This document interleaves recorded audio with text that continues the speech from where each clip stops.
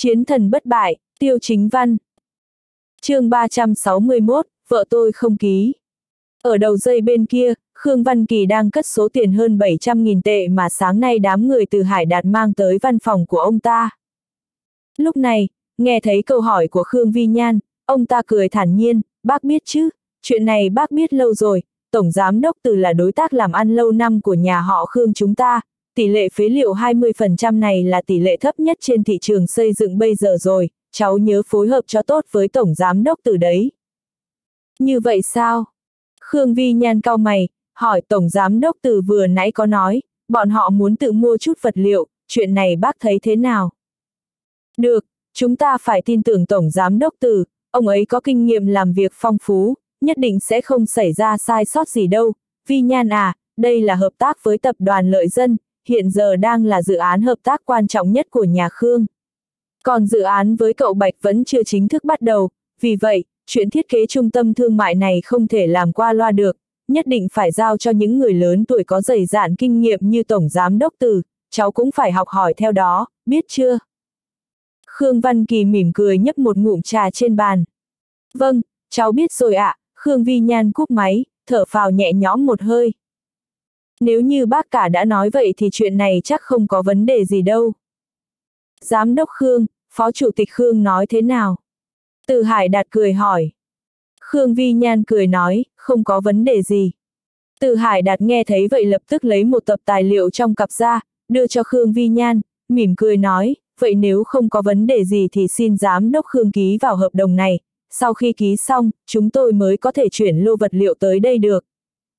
Khương Vi Nhan nghi hoặc, nhận lấy tập tài liệu, liếc nhìn qua vài lượt, quả nhiên không có vấn đề gì, đây chỉ là danh sách vật liệu và giá tiền. Tổng Giám đốc Từ, tập tài liệu này tôi sẽ mang về nhà nghiên cứu, đợi tôi xác nhận không có vấn đề gì thì sẽ ký, như vậy được không? Khương Vi Nhan vẫn rất thận trọng. Từ Hải Đạt nghe thấy vậy, ông ta khẽ nhíu mày, sau đó trên mặt hiện lên vẻ gấp gáp, nói, Giám đốc Khương, lô vật liệu và giá thành này đều là giá thấp nhất trên thị trường rồi, vật liệu cũng không có bất kỳ vấn đề gì, chuyện này cô có thể yên tâm, tôi và Phó Chủ tịch Khương đã hợp tác nhiều năm rồi, ông ấy cũng rất tin tưởng chúng tôi, hơn nữa, cô cũng nhìn thấy rồi đấy, vật liệu ở đây sắp dùng hết rồi, khoảng chừng nửa ngày thôi là nhân viên sẽ không có việc vì thiếu vật liệu, vì vậy chuyện này không thể chậm trễ được. Vật liệu phía bên chúng tôi hôm nay sẽ tung ra thị trường, nếu thời gian chậm trễ một ngày đối với chúng tôi có thể sẽ lỗ mấy mấy chục nghìn tiền công, cũng không phải chuyện gì lớn, nhưng đối với công ty nhà họ Khương thì sẽ tổn thất hàng triệu tệ đấy. Nghe thấy câu này, thái độ của Khương Vi Nhan có chút buông lỏng, nhưng cô vẫn kiên quyết, nói Tổng Giám Đốc Từ, vậy bây giờ tôi sẽ nhờ trợ lý qua đây giúp tôi xem, cho tôi thời gian nửa tiếng, được không? Sắc mặt từ hải đạt trùng xuống, ông ta liếc nhìn đám người phụ trách, bọn họ lập tức tiến tới khuyên nhủ. Giám đốc Khương, lô vật liệu này không thể chậm trễ được đâu. Đúng vậy, cô nhìn xem, công nhân bên đó sắp phải dừng việc lại rồi kìa, chuyện này ảnh hưởng đến tiến độ lắm. Giám đốc Khương, cô mau ký tên đi, lô vật liệu này sắp đến rồi. Khi nói những lời này, một trong số những người phụ trách còn ra hiệu cho công nhân ở gần đó. Ngay lập tức, nhiều công nhân vội vàng giả vờ cái cọ ẩm ý, Tổng Giám Đốc Phương, lô vật liệu khi nào mới tới thế, ở đây hết rồi đây này. Tổng Giám Đốc Từ, không phải ông nói hôm nay vật liệu sẽ tới sao, phải đợi tới lúc nào nữa. Không có vật liệu thì bảo chúng tôi làm thế nào? Lẽ nào Tổng Giám Đốc Từ có lòng tốt, phát tiền nuôi chúng tôi sao? Tại hiện trường, hàng chục công nhân tay cầm dụng cụ bắt đầu vây quanh nhau nhau nói không ngớt. Trời ạ, mọi người đừng làm ồn nữa, không phải tôi đang thương lượng với giám đốc Khương đây sau, thái độ của giám đốc Khương rất thận trọng, muốn xem số tài liệu này trước, sau đó mới đồng ý ký tên. Ngoài mặt từ hải đạt cười hi hi, nhưng trong lòng đã chĩa mũi nhọn về Khương Vi Nhan. Ngay lập tức, các công nhân bắt đầu nhìn chằm chằm vào Khương Vi Nhan, sau đó hét lớn. Giám đốc Khương, lô vật liệu đó không có vấn đề gì cả, chúng tôi là làm bao nhiêu năm nay rồi, chúng tôi vô cùng tin tưởng con người của Tổng Giám Đốc Từ. Đúng vậy, đều đang đợi vật liệu tới để thi công đây này, bây giờ không có vật liệu thì cô bảo chúng tôi làm gì, chỉ bằng về nhà ngủ một giấc cho xong. Ký đi, mau ký đi, chuyển lô vật liệu tới đây để chúng tôi còn làm việc. Đối mặt với bao nhiêu cái mồm, Khương Vi Nhan cảm thấy khá áp lực, nhìn Tiêu Chính Văn bằng ánh mắt cầu cứu, sau đó cắn răng nói, vậy được, Tổng Giám Đốc Tử, tôi tin ông. Từ Hải Đạt lập tức cười nói, như vậy có phải nhanh không, Giám Đốc Khương, mau tới đây ký đi. Những con cáo giả đều nở nụ cười gian trá. Vào lúc Khương Vi Nhan chuẩn bị ký tên, Tiêu Chính Văn đột nhiên đứng ra, nắm lấy bàn tay nhỏ bé mềm mại của Khương Vi Nhan, nói, hợp đồng này anh thấy có chút vấn đề. Một câu nói khiến tất cả mọi người chết lặng. Từ Hải Đạt và đám người phụ trách cùng với các công nhân, kể cả Khương Vi Nhan đều nhìn Tiêu Chính Văn bằng ánh mắt tràn đầy nghi hoặc. Tài liệu có vấn đề. Tiêu Chính Văn, cậu đừng nói linh tinh chứ, hợp đồng mua hàng này có vấn đề chỗ nào hả? Cậu chỉ là một thằng ở rể thì hiểu cái gì chứ, nếu cứ nói nhảm như vậy thì cậu phải chịu trách nhiệm đấy. Từ Hải đặt xa sầm mặt máy, ánh mắt lóe lên sự hung ác. Đúng vậy. Cậu biết gì về vật liệu? Cậu biết gì về thị trường? Cậu biết gì về ngành xây dựng? Ở đây có chỗ cho cậu nói chuyện à? Giám đốc Khương, chồng của cô có ý gì thế? Vài nhân viên phụ trách lập tức mắng nhiếc. Hàng chục công nhân xung quanh cũng xa sầm mặt mày nhìn chằm chằm tiêu chính văn, như thể bọn họ sẵn sàng xông vào đánh một trận bất cứ lúc nào. Khương Vi Nhan cũng lo lắng, vội vàng kéo tiêu chính văn sang một bên, nói tiêu chính văn, anh nói linh tinh gì thế, tài liệu này có vấn đề gì? Anh đừng làm loạn nữa, bọn họ là đơn vị xây dựng do bác cả tìm tới, hơn nữa thời gian thi công gấp rút, vật liệu lại đang thiếu hụt. Em tin anh không? Tiêu chính văn đột nhiên hỏi. Một câu nói khiến Khương Vi Nhan ngẩn người ra, ánh mắt ngây ngốc nhìn chằm chằm tiêu chính văn, hỏi thật sự có vấn đề sao? Tiêu chính văn gật đầu, em đừng quên, anh từng là đại thiếu gia của nhà họ tiêu, số người số ngành nghề anh tiếp xúc cũng không hề ít hơn em đâu, đối với ngành trang trí này, anh cũng có hiểu chút ít. Nghe thấy tiêu chính văn nói như vậy, Khương Vi Nhan mới nhớ lại. Trước đây tiêu chính văn cũng là một nhân tài kiệt xuất ở đất tu hà. Đại thiếu gia tiêu chính văn lúc đó là bạch mã hoàng tử trong mộng của biết bao thiếu nữ. Tuổi còn trẻ nhưng tài sản cá nhân đã lên đến hàng chục tỷ rồi. Nhưng mà bọn họ đều do bác cả mới tới, nếu như có vấn đề thì không phải là nói. Khương Vi Nhan đột nhiên nghĩ đến một khả năng. Tiêu chính văn vỗ nhẹ vào bờ vai yếu ớt của Khương Vi Nhan, nói em vẫn chưa hiểu những quy tắc bất thành văn của giới kinh doanh, nếu như Khương Văn Kỳ có những lợi ích bí mật với bọn họ hoặc âm thầm ăn chiết khấu thì sao? Bây giờ, Tổng Giám Đốc từ đó bắt em ký tên, nhưng nhỡ xảy ra sai sót gì, em là người đầu tiên phải chịu trách nhiệm. Khi đó, bọn họ sẽ đổ hết mọi chuyện lên người em, nói là em bảo mua, nói rằng tiền đã vào trong túi em rồi, em hiểu không? Nghe thấy câu này, cơ thể mỏng manh của Khương Vi Nhan run lên vì sợ hãi. Nói xong, Tiêu Chính Văn đi ra ngoài, nói với Từ Hải Đạt, Tổng Giám Đốc Từ, xin lỗi, tài liệu này, vợ tôi không ký, chúng tôi phải mang tập tài liệu này về xem xét kỹ càng, đến lúc đó ký cũng chưa muộn. chương 362, thẹn quá hóa rồ. Nghe thấy vậy, Từ Hải Đạt xa sầm mặt mày, hỏi Khương Vi Nhan, Giám Đốc Khương, bây giờ cô có ý gì, chồng cô có thể đại diện cho cô hay đại diện cho nhà họ Khương được không? Đúng vậy, anh ta chỉ là một tên vô dụng ăn bám. Có tư cách gì mà ra quyết định ở đây? Giám đốc Khương, hôm nay cô nhất định phải ký. Lô vật liệu này đã tới rồi. Vài nhân viên phụ trách đã bắt đầu cảm thấy khó chịu. Nếu đem tài liệu này về để đối chiếu, chắc chắn sẽ phát hiện ra rất nhiều vấn đề và mánh khóe. Bọn họ muốn gây áp lực cho Khương Vi Nhan buộc cô phải ký gấp, sau đó kéo cô xuống nước. Đến lúc đó xảy ra chuyện gì đều do Khương Vi Nhan chịu trách nhiệm. Hàng chục công nhân xung quanh cũng sắn tay áo, vẻ mặt dữ tợn, hung ác nhìn chằm chằm tiêu chính văn hét lớn. Anh đang làm cái gì vậy? Ở đây có chỗ cho anh nói chuyện à? Muốn chết đúng không? Thử nói thêm một câu đi, có tin chúng tôi đánh chết anh không? Mẹ kiếp, một thằng ăn bám vô dụng mà cũng dám tọc mạch. Nhìn thấy đám công nhân chuẩn bị ra tay, Khương Vi Nhan vội vàng đứng lên, vẻ mặt xin lỗi nói, xin lỗi, xin lỗi, Tổng Giám Đốc Từ, tài liệu này tôi vẫn quyết định mang về để kiểm tra. Thấy Khương Vi Nhan nói như vậy, khuôn mặt từ Hải Đạt lập tức tối sầm lại. Ông ta hất tay, hàng chục công nhân phía sau lập tức dừng lại. Sau đó, Ông ta cười khẩy, giám đốc Khương, thận trọng là tốt, nhưng thận trọng quá lại gây hỏng việc đấy. Cô đang không tin từ Hải Đạt tôi sao? Nếu đã như vậy, tôi sẽ để Phó Chủ tịch Khương làm chủ. Nói xong, từ Hải Đạt lập tức gọi điện cho Khương Văn Kỳ, nói, Phó Chủ tịch Khương, Giám đốc Khương không chịu ký, lô vật liệu này của chúng tôi không thể chuyển tới đúng giờ được, cô ấy còn muốn mang tài liệu về kiểm tra, ông nói xem, chuyện này nên làm thế nào bây giờ. Đầu dây bên kia, Khương Văn Kỳ đang vui vẻ uống trà, nghe thấy lời của từ Hải Đạt, ông ta đột nhiên nhíu mày giận dữ, hét lớn, gì cơ? Khương Vi Nhan không chịu ký á. Tổng Giám đốc từ, ông đừng vội, ông đưa điện thoại cho cô ta để tôi nói chuyện. Khương Văn Kỳ sắp tức chết rồi. Ông ta đã hợp tác với Từ Hải đạt được 7 năm rồi, trong 7 năm này khi hai người hợp tác đã kiếm được không dưới 10 triệu. Dùng các thủ đoạn bị ổi để lấp đầy túi tiền của bọn họ. Có tình biến một số vật liệu chất lượng kém thành vật liệu cao cấp. Đồng thời, sử dụng cái gọi là tỷ lệ phế liệu cố ý giấu số vật liệu đó đi, sau đó lại mang ra bán. Việc hợp tác với Từ Hải Đạt lần này có thể kiếm được hơn một triệu tiền lợi nhuận.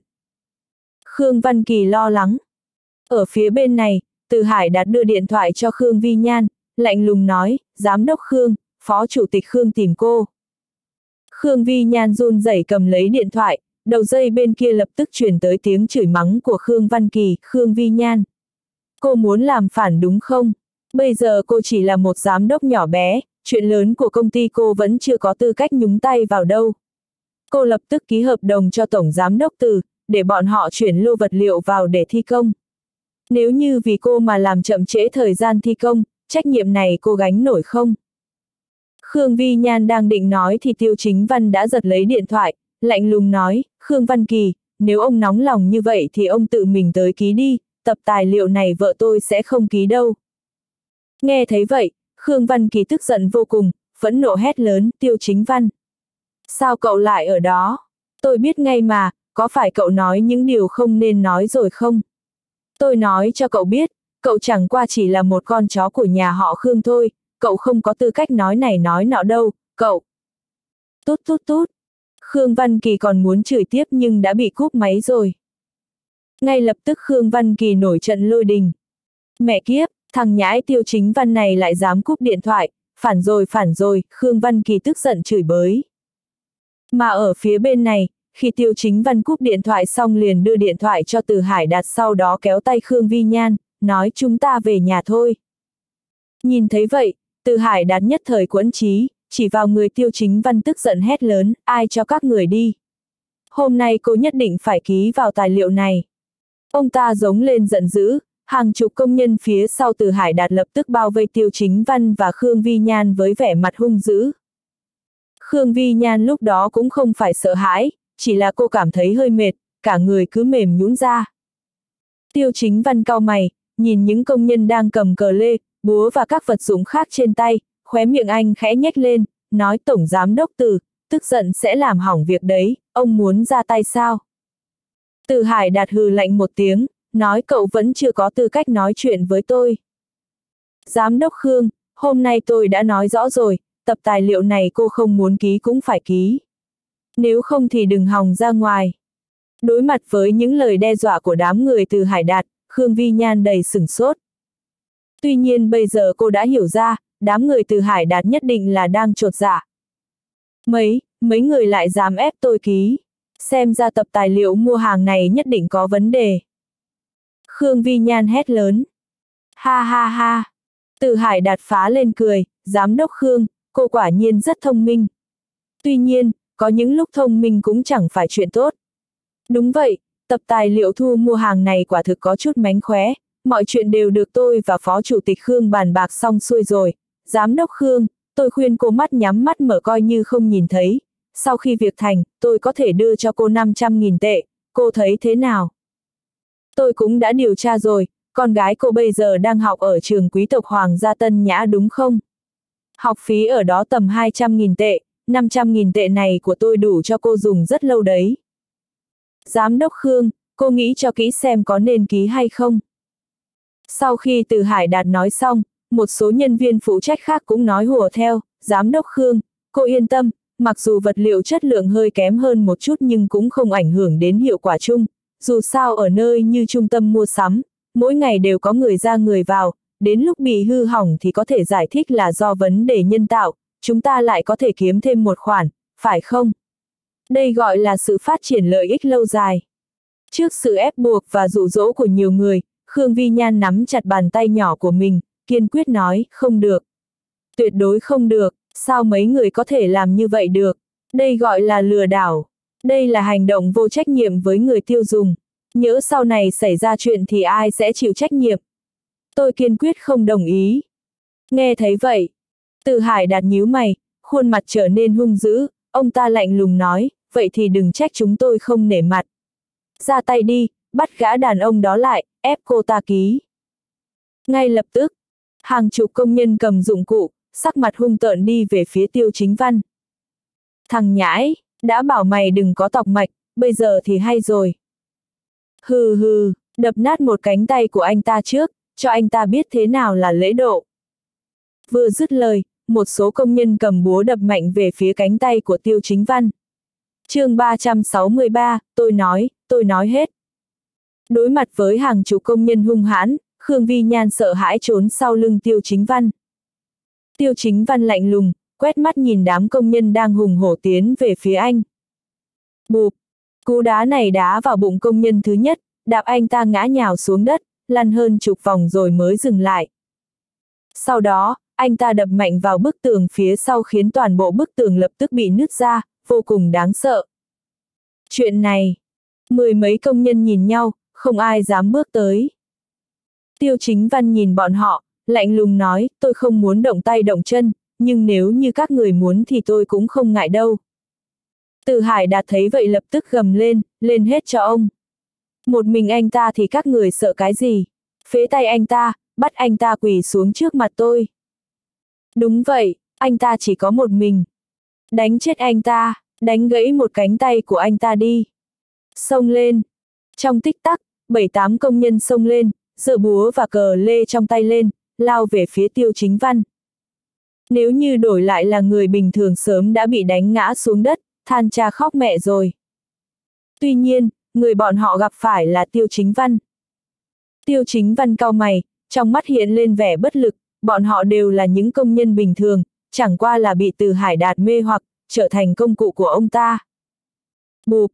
Tiêu chính văn di chuyển, cúi người về phía trước, giơ tay lên, đánh thẳng vào ngực một công nhân vừa lao tới. Một tiếng động lớn vang lên, công nhân đó bị một quả đấm bay ra ngoài, đập vào đống cát, ngất lịm đi. Ngay sau đó, tiêu chính văn chỉ cần dùng mấy chiêu rất đơn giản, mười mấy công nhân xông tới đều bị đánh bay ra ngoài, ngã xuống đất, ôm ngực hoặc tay chân, không ngừng kêu gào thảm thiết. Cảnh tượng này khiến đám người từ hải đạt sợ mất mật. Tiêu chính văn này là một con quái vật à? Sao lại có thể mạnh như vậy được chứ? Rất nhanh sau đó, tiêu chính văn bóp cổ công nhân cuối cùng, nhấc anh ta lên khỏi mặt đất, sau đó ném mạnh về phía đám người từ hải đạt. Bụp một tiếng, công nhân ngã xuống trước mặt từ hải đạt, toàn thân đau đớn, thở mãi không ra hơi. Từ hải đạt và đám nhân viên phụ trách tròn mắt nhìn nhau, run rẩy nhìn tiêu chính văn đang bước tới. Bây giờ tới lượt các người, tiêu chính văn lạnh lùng nói. Nghe thấy câu này, từ hải đạt hoảng sợ, vội vàng lùi lại, hét lớn, cậu, cậu muốn làm gì? Tiêu chính văn, tôi nói cho cậu biết, thân phận của tôi và cậu không giống nhau, tôi là sếp lớn đấy, cậu dám ra tay với tôi, tôi nhất định sẽ không bỏ qua cho cậu đâu, bao gồm cả vợ con cậu nữa, tôi sẽ thuê người, ái ái ái, nhẹ tay thôi, nhẹ tay thôi. Từ Hải Đạt còn chưa nói xong, Tiêu Chính Văn đã đứng trước mặt ông ta, túm cổ áo ông ta nhấc lên khỏi mặt đất. Ngay lập tức, Từ Hải Đạt cảm thấy khó thở, khuôn mặt đỏ bừng lên, ông ta trợn tròn mắt, chật vật hét lớn, Tiêu Chính Văn cậu, buông tay ra ngay, tôi sắp chết rồi, sắp chết rồi. Bụp, Tiêu Chính Văn buông tay ra, Từ Hải Đạt lập tức ngã xuống, cơ thể mềm oặt nằm trên mặt đất, ông ta ôm chặt lấy cổ, liên tục ho khan. Đồng thời cũng không quên đe dọa, mẹ kiếp, mày chết chắc rồi, mày dám động tay với tao, tao sẽ tìm người đánh chết mày, cả vợ con mày nữa. Tuy nhiên, tiêu chính văn giơ chân lên, đá vào vai từ hải đạt, đạp ông ta xuống rồi dậm mạnh vào ngực từ hải đạt, sau đó lạnh lùng nói ông muốn làm gì vợ con tôi cơ. À à à, từ hải đạt bị tiêu chính văn dẫm lên, ông ta đau đớn vô cùng, kêu gào thảm thiết, nhấc chân lên, nhấc chân lên, gãy xương mất, gãy xương mất, à, à à à, tôi sai rồi, tôi sai rồi, cầu xin đại thiếu gia tiêu rộng lượng tha cho tôi, tôi không dám nữa, tha cho tôi một lần đi mà. Từ hải đạt hoảng sợ, vẻ mặt vô cùng đau khổ. Ngay lúc đó, ông ta cảm thấy lồng ngực của mình như sắp bị nổ tung. Cảm giác đau đớn và cảm giác sợ hãi sắp chết khiến đáy quần ông qua ướt sũng một loại chất lỏng màu vàng. Muốn sống hả? Đơn giản thôi, nói ra toàn bộ âm mưu thông đồng chuộc lợi của ông và Khương Văn Kỳ, nhớ kỹ, không được phép có nửa lời dối trá, nếu không, cả đời này ông sẽ phải ngồi xe lăn đấy. Tiêu chính văn lạnh lùng nói, anh nhấc chân lên, dẫm vào tay phải của từ hải đạt, chỉ dùng một lực nhẹ mà năm ngón tay của từ hải đạt cảm giác như bị một chiếc xe tải hạng nặng đè lên. Đau thấu tâm can. Người ta nói rằng 10 ngón tay được kết nối với trái tim, quả thật không sai. Tôi nói tôi nói, cầu xin đại thiếu gia tiêu tha mạng cho. Từ hải đạt đau đớn cầu xin. Những nhân viên phụ trách khác đều vô cùng sợ hãi, tất cả đều run rẩy đứng ở một bên, không dám nói gì. Người đàn ông này quá bạo lực. Sau đó, Từ Hải Đạt nói ra mọi âm mưu trục lợi cá nhân của mình và Khương Văn Kỳ cho Tiêu Chính Văn nghe. Tiêu Chính Văn bảo Khương Vi Nhan ghi âm hết lại. Đến cuối cùng, Khương Vi Nhan tức giận nói, không ngờ bác cả lại là người như vậy, vì chút lợi ích nhỏ nhặt của bản thân, muốn lấp đầy túi tiền của mình mà làm ra những chuyện như vậy, Tiêu Chính Văn, chúng ta nên làm như thế nào bây giờ, có nói chuyện này cho ông biết không? Khương Vi Nhan hỏi. Tiêu Chính Văn cau mày, nghĩ một lúc rồi nói, em tự nghĩ xem nên làm như nào đi, dù sao anh cũng không phải là người nhà họ Khương, không tiện xen vào. Khương Vi Nhan nhíu mày, sau đó nặng nề gật đầu, nói, vậy lát nữa em sẽ đi gặp ông nội, nhất định phải vạch trần bác cả. Nếu không, sự hợp tác của nhà họ Khương chúng ta và tập đoàn lợi dân sẽ bị hủy hoại mất. Tiêu Chính Văn rất cảm phục dũng khí của Khương Vi Nhan, anh động viên, được, vậy anh đi cùng em. Nói xong, Khương Vi Nhan mang theo tài liệu và bản ghi âm về biệt viện nhà họ Khương. Audio điện tử võ tấn bền. Bọn họ vừa rời đi, từ Hải Đạt lập tức lấy điện thoại di động ra bấm số của Khương Văn Kỳ, ông ta khóc lóc kêu gào, Phó Chủ tịch Khương, xong đời rồi, chuyện của chúng ta bại lộ rồi, còn ả Khương Vi Nhan đó mang bản ghi âm đi gặp ông cụ Khương rồi.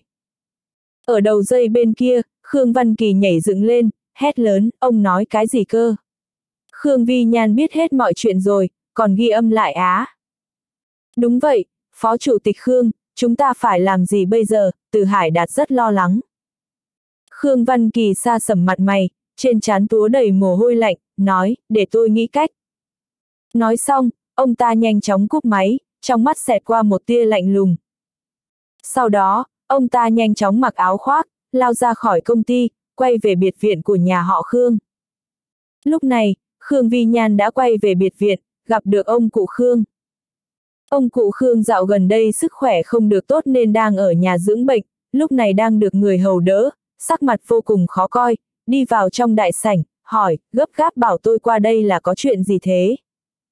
Lúc này, rất nhiều họ hàng thân thích của nhà họ Khương đều đã ngồi kín đại sảnh. Khương Mỹ Nghiên và Tiết Mai, còn có Khương Học Bác, Từ Phân và Khương Thần đều có mặt. Khương Vi Nhan vội vàng nói, ông ơi, cháu phát hiện bác cả lợi dụng chức vụ để bòn tiền của công ty và đã thu được hơn 10 triệu vào túi tiền của mình từ các dự án khác nhau. Số tài liệu này là chứng cứ, cháu còn có cả bản ghi âm. Khương Vi Nhan vừa dứt lời, toàn bộ người nhà họ Khương đều kinh hãi, lập tức gây nên một cơn chấn động.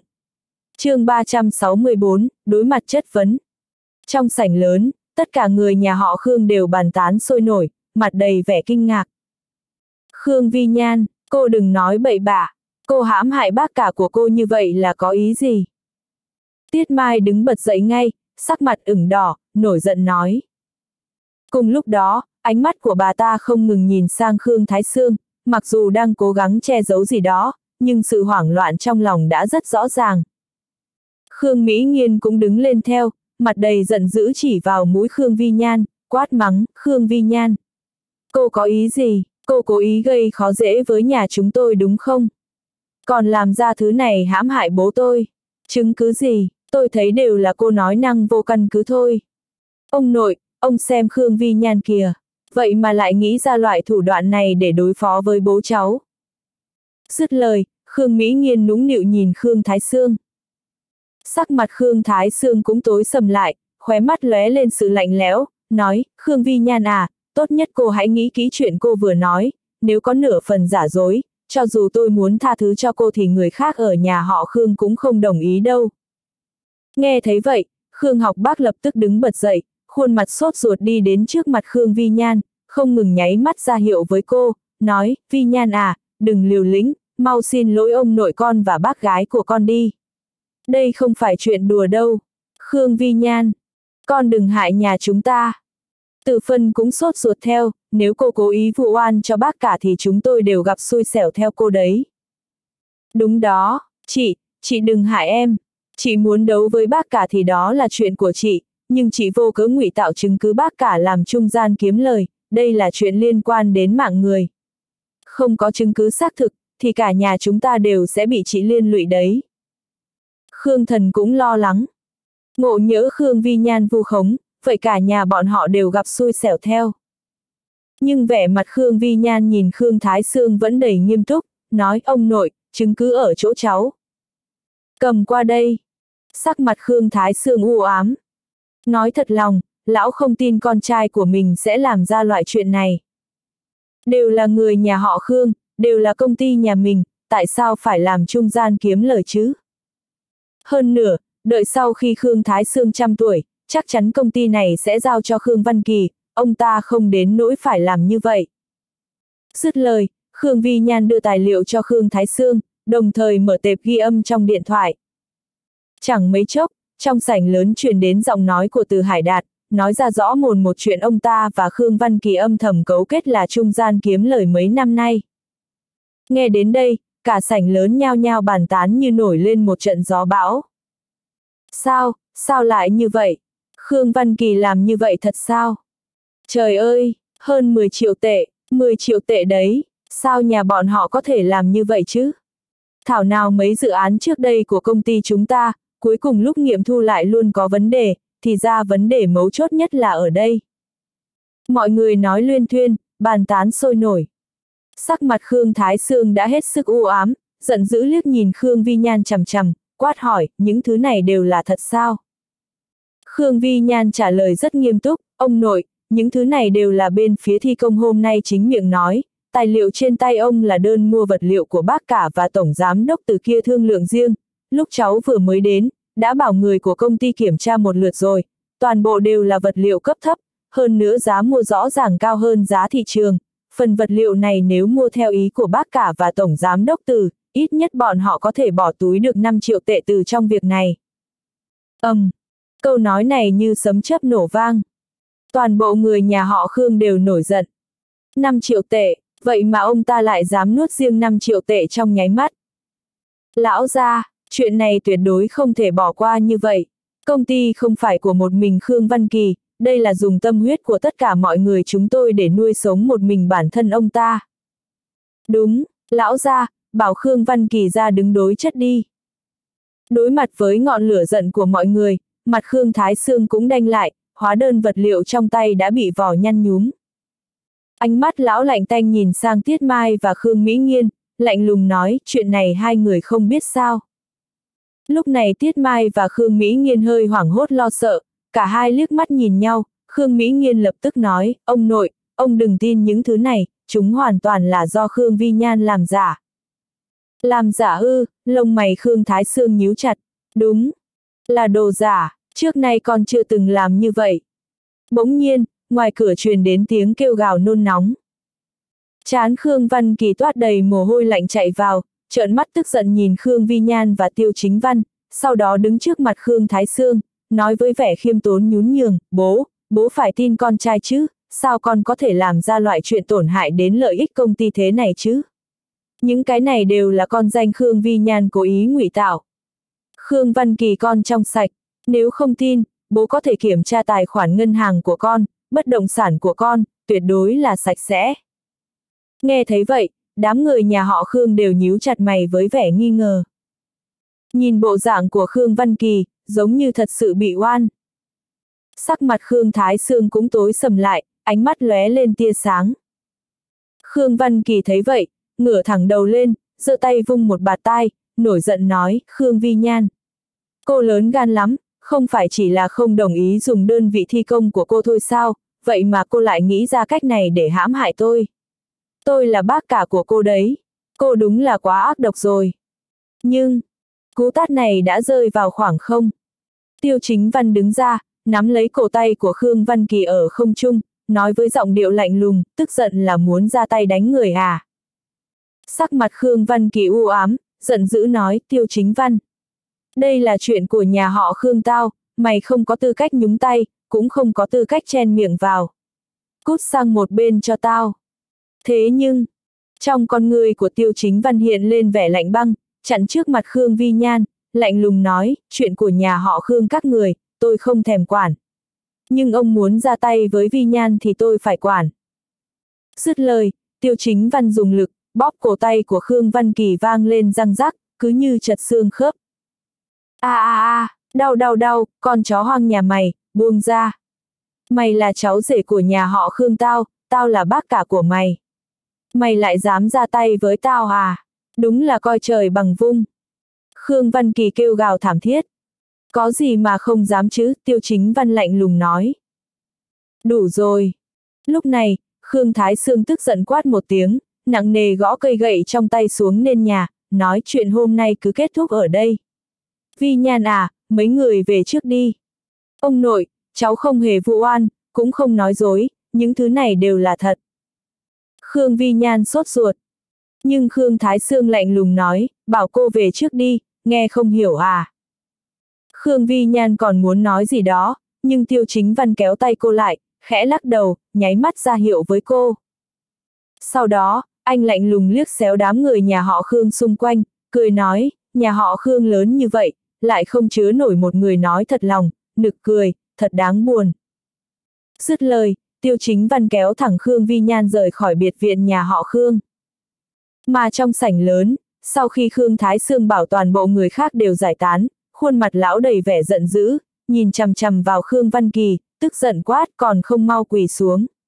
chương 365, Đại sư thiết kế váy cưới. Tiếng gầm này như tiếng gào thét của sư tử, khiến hai chân Khương Văn Kỳ run rẩy, quỳ xuống sảnh lớn. Bố, con thật sự không làm, Khương Văn Kỳ uất ức nói. Bốp! Khương Thái Sương tát thẳng vào mặt Khương Văn Kỳ rồi quát mắng, con tưởng bố già lầm cẩm rồi sao? Bao nhiêu năm qua, bố mắt nhắm mắt mở bỏ qua chính là vì con là con trai bố, là người thừa kế công ty sau này.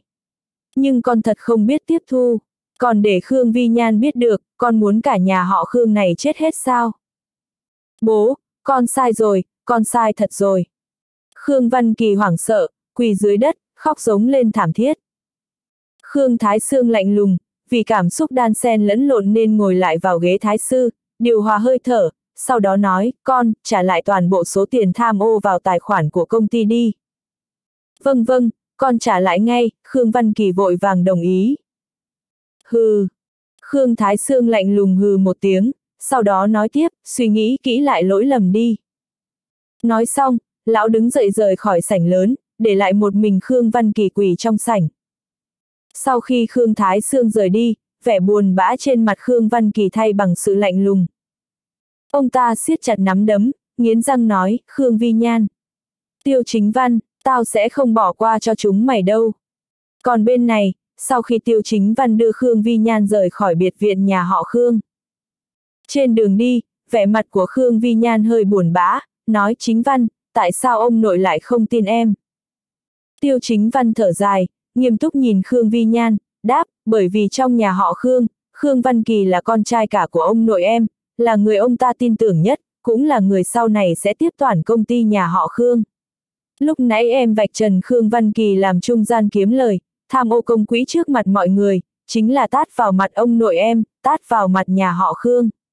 Người che giấu khuyết điểm như ông cụ vốn đã không coi trọng em, nếu em để ông ta lựa chọn, đương nhiên ông ta sẽ bảo vệ Khương Văn Kỳ. Nghe những lời này, ánh mắt Khương Vi Nhan càng thêm đau lòng, nói chẳng lẽ để bác ấy tiếp tục tham ô sao? Tiêu chính văn lắc đầu nói, nếu ông cụ còn minh mẫn thì sẽ không như vậy nữa. Chắc hẳn bây giờ ông cụ đang khiển trách riêng Khương Văn Kỳ, bảo ông ta trả lại tiền. Như vậy thì chúng ta coi như là đã đắc tội với Khương Văn Kỳ, sau này em ở công ty e là rất khó sống. Nghe vậy, Khương Vi Nhan hơi lo lắng nói, vậy phải làm sao đây?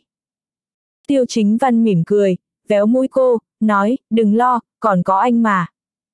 Nhưng Khương Vi Nhan không vui, cô cúi đầu xuống, tự trách mình, chính văn, anh nói xem có phải em bốc đồng quá không? Có phải em không nên vạch trần bác cả không? Nếu như vậy thì bác cả sẽ không ghét chúng ta. Tiêu chính văn giữ chặt bả vai Khương Vi Nhan, cười dịu dàng nói, đồ ngốc, làm những điều chính nghĩa, ngay thẳng thì không cần xin lỗi, không cần tự trách mình. Được rồi, chúng ta về thôi. Nói xong, hai người cũng về đến sân nhỏ. Ở bên kia, sau khi Khương Văn Kỳ từ sảnh lớn trở về nơi ở của mình, ông ta liền tức giận đập phá đồ đạc. Bố, bây giờ chúng ta phải làm sao đây?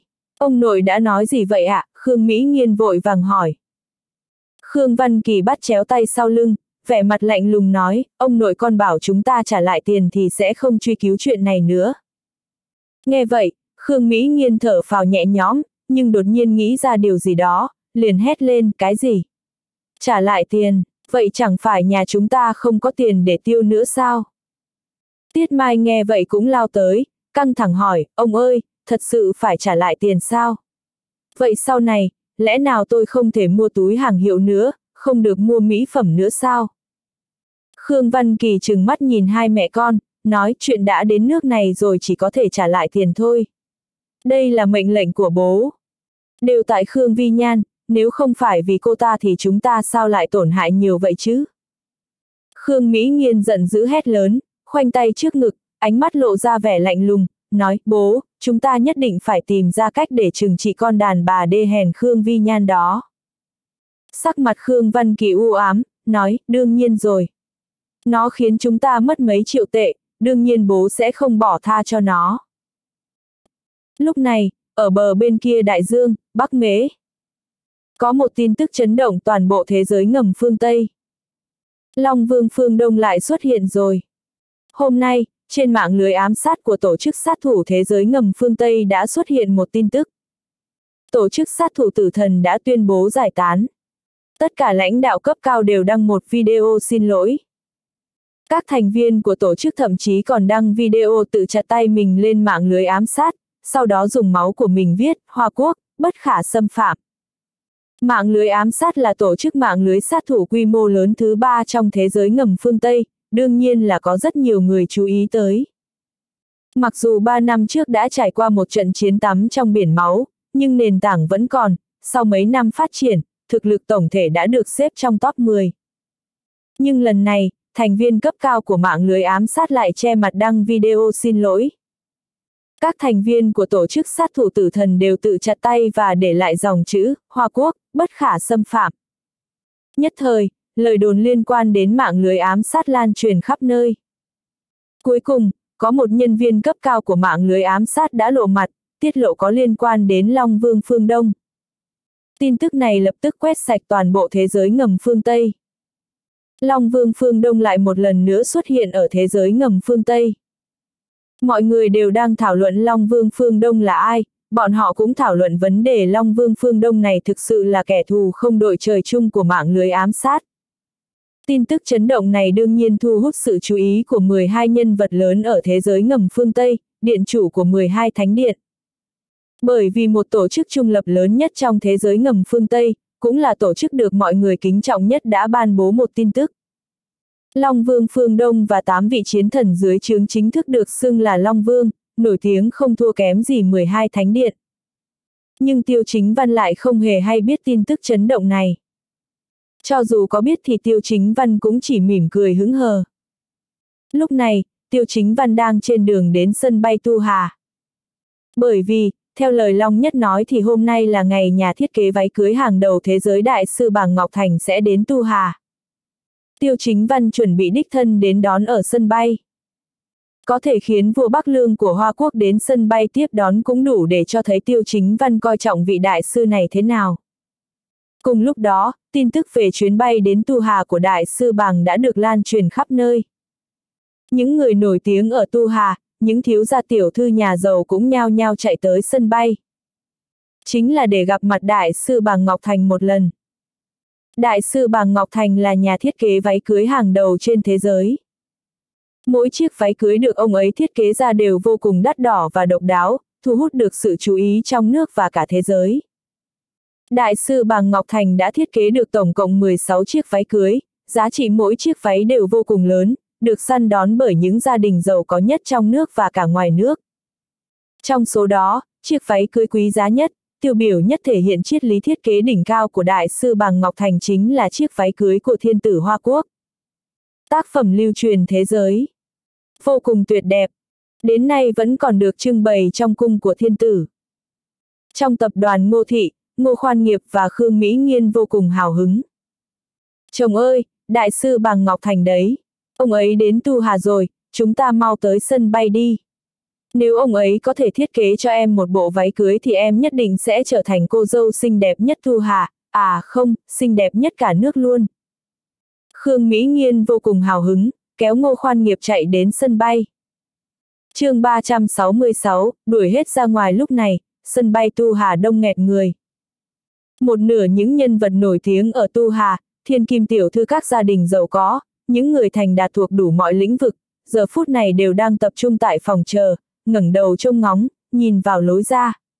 Tại đây, còn có không ít bảng đèn led, viết dòng chữ thật to đại sư bàng, nhà thiết kế áo cưới, V, V. Ai không biết còn tưởng là fan cuồng đi đón ngôi sao nổi tiếng nào đó ở sân bay. Lúc này, Tiêu Chính Văn và Long Nhất đã đến phòng chờ VIP tại sân bay. Hai người Hàn Lợi Dân và Lý Trường Thắng cũng đến ngay sau đó.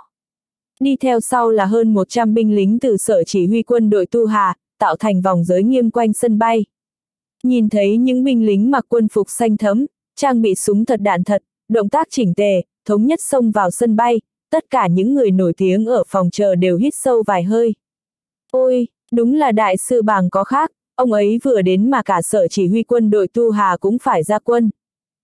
Đúng vậy, chẳng nhẽ đại sư bàng lần này đến Tu Hà, là vì thiếu tá Hàn. Con gái của thiếu tá Hàn sắp cưới à? Nhưng chưa nghe thấy tin gì, một đám người bàn tán sôi nổi, tất cả đều bị sự nghiêm trang của nhóm binh lính làm cho kinh ngạc. Cùng lúc đó, Khương Mỹ Nghiên và Ngô Khoan Nghiệp cũng vội vàng chạy đến sân bay, vừa tới đã thấy một đám đông đang đợi đón người. Toàn là các thiếu gia tiểu thư, một số gia chủ gia đình giàu có và nhân vật có tiếng như chủ tịch của mấy công ty lớn. Về cơ bản đều là những người nhấc tay dậm chân có có thể khiến dư luận tu hà dậy sóng.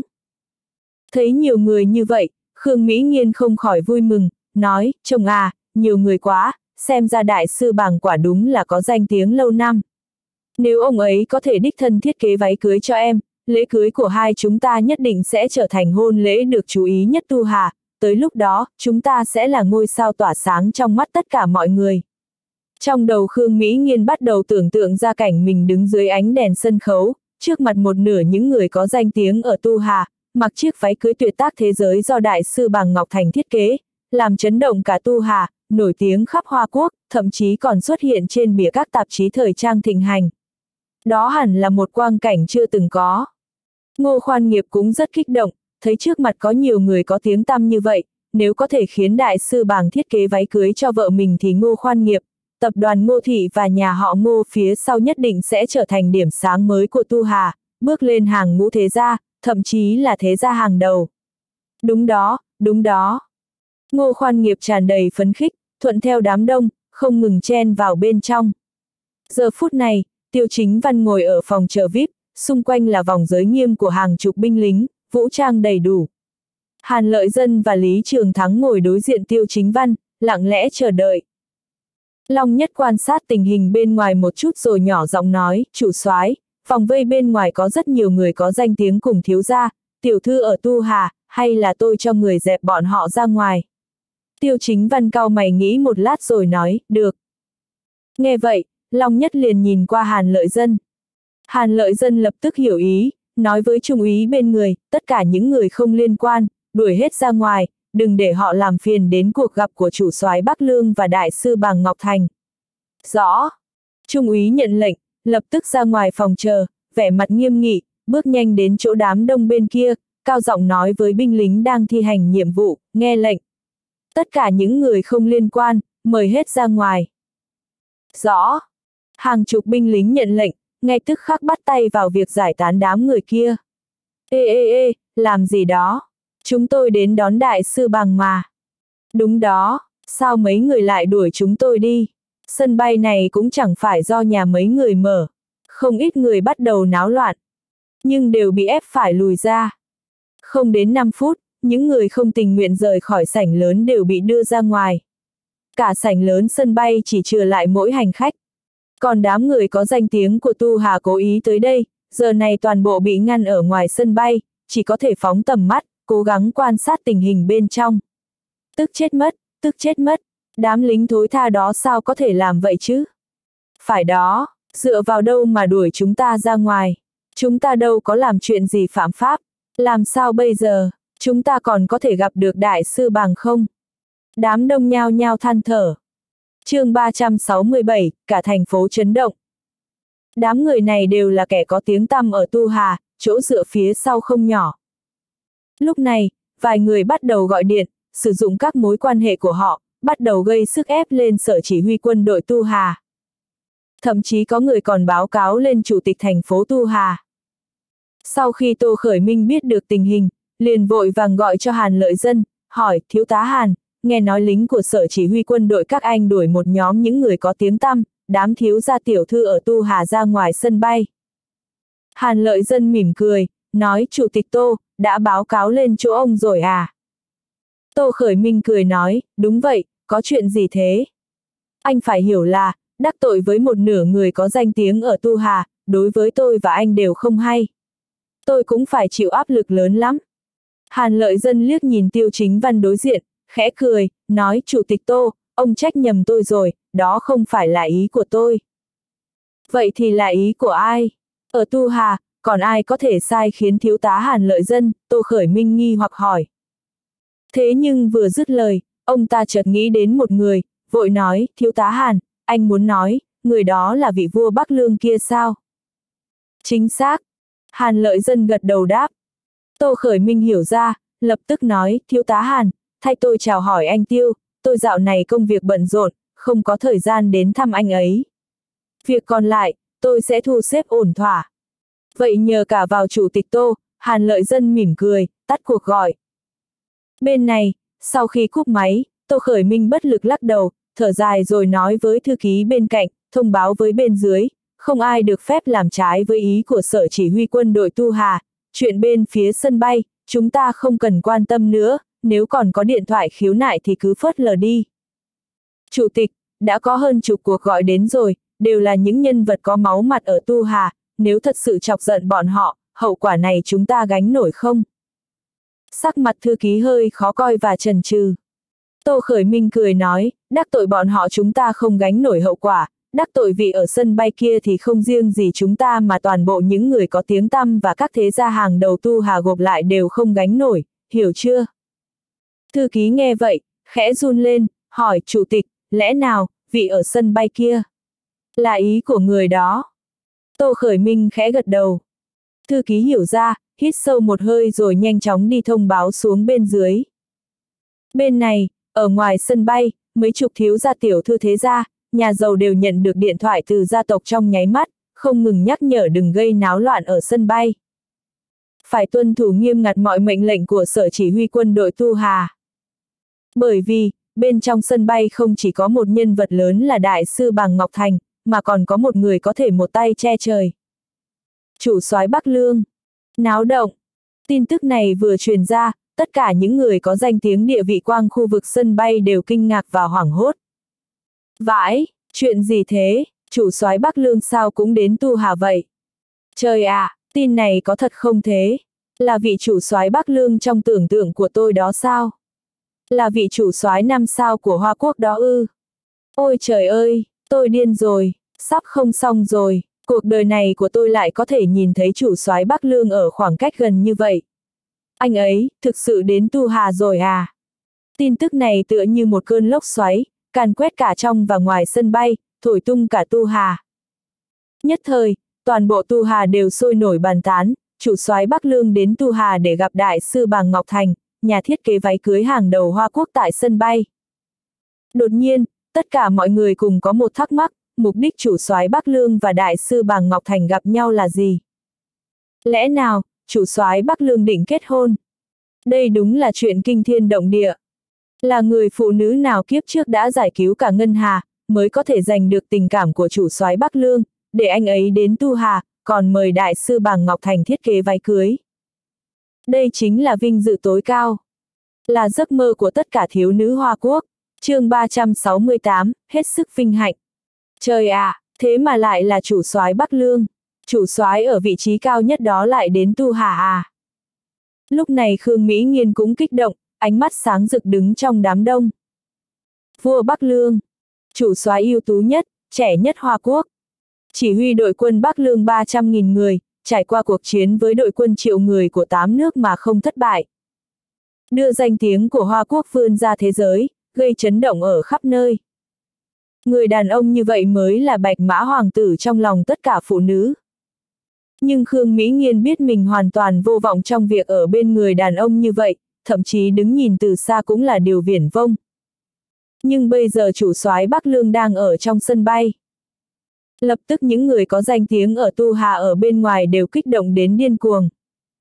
Lúc này, từng cuộc điện thoại được gọi ra ngoài. Tất cả gia tộc giàu có, chủ tịch tập đoàn, quan chức cấp cao Tu Hà dường như ngay lập tức bỏ công việc để chạy đến sân bay. Toàn bộ đường phố Tu Hà đều tắc nghẽn. Tiếng còi xe vang lên ẩm ý cả Tu Hà. Người đi đường và người dân không rõ chuyện gì đều rất kinh ngạc với cảnh tượng này. Đã, đã xảy ra chuyện gì vậy? Chưa từng thấy cảnh tượng này bao giờ. Tất cả các con đường chính đến sân bay Tu Hà đều chật cứng các loại ô tô hạng sang. Porsche, Bentley, Maybach, Aston Martin, Rolls Royce. Quả thật rất giống triển lãm xe. Trời ạ, à, nhân vật tầm cỡ nào đến Tu Hà của chúng ta vậy? Hình như, đều là xe của các gia tộc giàu có và chủ tịch tập đoàn lớn nhỉ? Tôi không biết nữa, cảnh tượng này còn hoành tráng hơn việc bốn nghệ sĩ của Hoa Quốc chúng ta cùng xuất hiện nữa. Là sân bay, hình như họ đều đến sân bay. Chúng ta có nên đi đến đó không? Người dân cũng bắt đầu bàn tán. Mà bên phòng chờ ở sân bay. Sau khi nhận được tin tức, Hàn Lợi Dân cũng rất đau đầu và bất lực nói với Tiêu Chính Văn, chủ soái, hình như tin tức anh ở sân bay bị bên ngoài biết được rồi. Bây giờ ngoài sân bay ngày càng nhiều người nổi tiếng của Tu Hà vây quanh, họ đều muốn gặp anh một lần, anh thấy thế nào? Tiêu chính văn cao mày, ánh mắt hiện lên tia lạnh lùng, lịch trình của tôi bị lộ à? Hàn lợi dân bất lực nói, cây cao gió lớn, dù sao đại sư bàng Ngọc Thành đến Tu Hà cũng là vì anh. Hơn nữa với hành động lúc trước, người bên dưới không khỏi suy đoán, cũng khó tránh khỏi làm lộ ít tin tức. Nghe vậy, tiêu chính văn thở dài, mở rộng phạm vi phong tỏa đi. Rõ. Hàn lợi dân đáp rồi nhanh chóng điều động 1.000 người từ sở chỉ huy quân đội tu Hà phong tỏa mấy con đường ra vào xung quanh sân bay. Rất nhiều xe đến sân bay đều bị chặn lại. Ngay lúc mọi người quan tâm chủ soái Bắc Lương có đến sân bay Tu Hà hay không, Hàn Lợi Dân cũng lấy danh sở chỉ huy quân đội Tu Hà chính thức lên tiếng thông báo với bên ngoài hôm nay chủ soái Bắc Lương đến Tu Hà, để phòng ngừa bất chắc nên phải phong tỏa sân bay. Hơn nữa, đồng thời cũng truyền ra tin tức chủ soái Bắc Lương sẽ ở Tu Hà một thời gian. Hai tin tức gây chấn động toàn Tu Hà. Rất nhiều gia tộc, tập đoàn lớn bắt đầu họp khẩn cấp để bàn bạc đối sách, cầu mong được gặp chủ soái Bắc Lương một lần. Mà lúc này, ở sân bay, một chiếc máy bay chuyên dụng đáp xuống. Một người đàn ông trung niên năm 60 tuổi mặc một bộ vest màu xám, đội mũ fedora được một nhóm binh lính hộ tống đi đến phòng chờ VIP. Đại sư Bàng, là đại sư Bàng. Mau xem, đúng thật là đại sư Bàng Ngọc Thành kia. Bỗng chốc người trong sân bay đều phát điên. Bàng Ngọc Thành cũng liếc mắt một cái, rồi vội vã đi về phía phòng chờ VIP. Cảnh tượng này dĩ nhiên bị người có tâm tư nhìn thấy. Là phòng chờ VIP, đại sư bàng đến phòng chờ VIP, chắc chắn chủ soái Bắc Lương cũng ở đó. Nhanh lên, đến phòng chờ VIP. Cũng không biết ai hét lên, lập tức đám người trong sân bay này đều chạy đến gần phòng chờ VIP. Nhưng lúc này phòng chờ VIP đã bị 100 binh lính mặc quân phục xanh đậm, mang súng canh giữ nghiêm ngặt. Đám người phấn khích đến sắp ngất chỉ đành ngậm ngùi đứng cách mấy tấm kính quan sát. Có người không biết lấy đâu ra kính viễn vọng. Tôi nhìn thấy rồi, thấy rồi. Là thiếu tá Hàn Lợi Dân và tỷ phú Lý Trường Thắng. Hai người họ đều ở đó. Người bắt tay với đại sư Bàng Ngọc Thành là một chàng trai trẻ tuổi, rất đẹp trai, mặc quần áo bình thường. Chết tiệt, tôi không nhìn rõ nữa, bị chặn mất rồi. Mấy người này dùng hết mọi cách muốn được nhìn rõ người và tình hình trong phòng chờ VIP. Nhưng lúc này, mấy cánh cửa kính đó đều bị ai đó kéo rèm lại. Cuối cùng không ai nhìn thấy rõ chủ soái Bắc Lương trong phòng VIP rốt cuộc trông như thế nào. Thế nhưng có người lấy điện thoại ra chụp lại cảnh tượng đại sư bằng Ngọc Thành bắt tay với một chàng trai trẻ đẹp. Bức ảnh rất mờ nhưng vẫn có thể nhìn ra người đàn ông bắt tay với bàng Ngọc Thành có thân hình cao giáo, cực kỳ anh tuấn, có khí chất vương giả khiến mọi người phải bái phục. Chắc chắn là chủ soái Bắc Lương rồi. Bức ảnh này cũng truyền đi khắp các con phố lớn nhỏ của Tu Hà, thậm chí lan truyền trên mạng với tốc độ cực nhanh. Nhưng không quá 3 phút sau, bên trên đã phong tỏa tin tức liên quan đến chủ soái Bắc Lương. Lúc này, Khương Mỹ Nghiên và Ngô Khoan Nghiệp ở trong đám đông cũng vô cùng kích động. Đây chính là chủ soái Bắc Lương sao? Nhan sắc này đúng là đẹp trai quá, chính là bạch mã hoàng tử trong mộng của em. Khương Mỹ Nghiên không hề tâm bốc nói, gương mặt tràn đầy vẻ si mê đắm đuối. Nếu đổi thành người đàn ông bình thường khác nhất định sẽ ghen tuông. Nhưng ngô khoan nghiệp không dám ghen, cũng không ghen nổi. Chủ soái Bắc Lương đấy, ai mà dám ghen chứ? Người này vốn dĩ là chủ soái vô địch được cả Hoa Quốc công nhận. Ngay cả em gái cậu ta cũng say mê và sùng bái chủ soái Bắc Lương, càng đừng nói đến mẹ cậu ta cũng mê đắm chủ soái Bắc Lương. Bà ta ước gì chủ soái Bắc Lương này có thể trở thành con rể của mình. Mà lúc này trong phòng chờ VIP, bà Ngọc Thành kính cẩn đứng trước mặt Tiêu Chính Văn, sùng bái nhìn anh nói, chủ soái Bắc Lương, có thể thiết kế và làm váy cưới cho vợ của cậu là vinh hạnh lớn nhất cả đời này của bà Ngọc Thành tôi. Tôi nhất định sẽ thiết kế ra một chiếc váy cưới có một không hai toàn quốc, à không toàn thế giới, có thể làm tôn lên thân phận vợ chủ soái Bắc Lương. Lúc này bà Ngọc Thành cực kỳ kích động. Mình may mắn được thiết kế váy cưới quốc hôn cho vợ của chủ soái năm sao trẻ nhất, mạnh nhất Hoa Quốc. Đó là vinh dự lớn nhất cả đời này của ông ấy. Nghĩ lại thì lễ quốc hôn như vậy thu hút sự chú ý của người dân cả Hoa Quốc.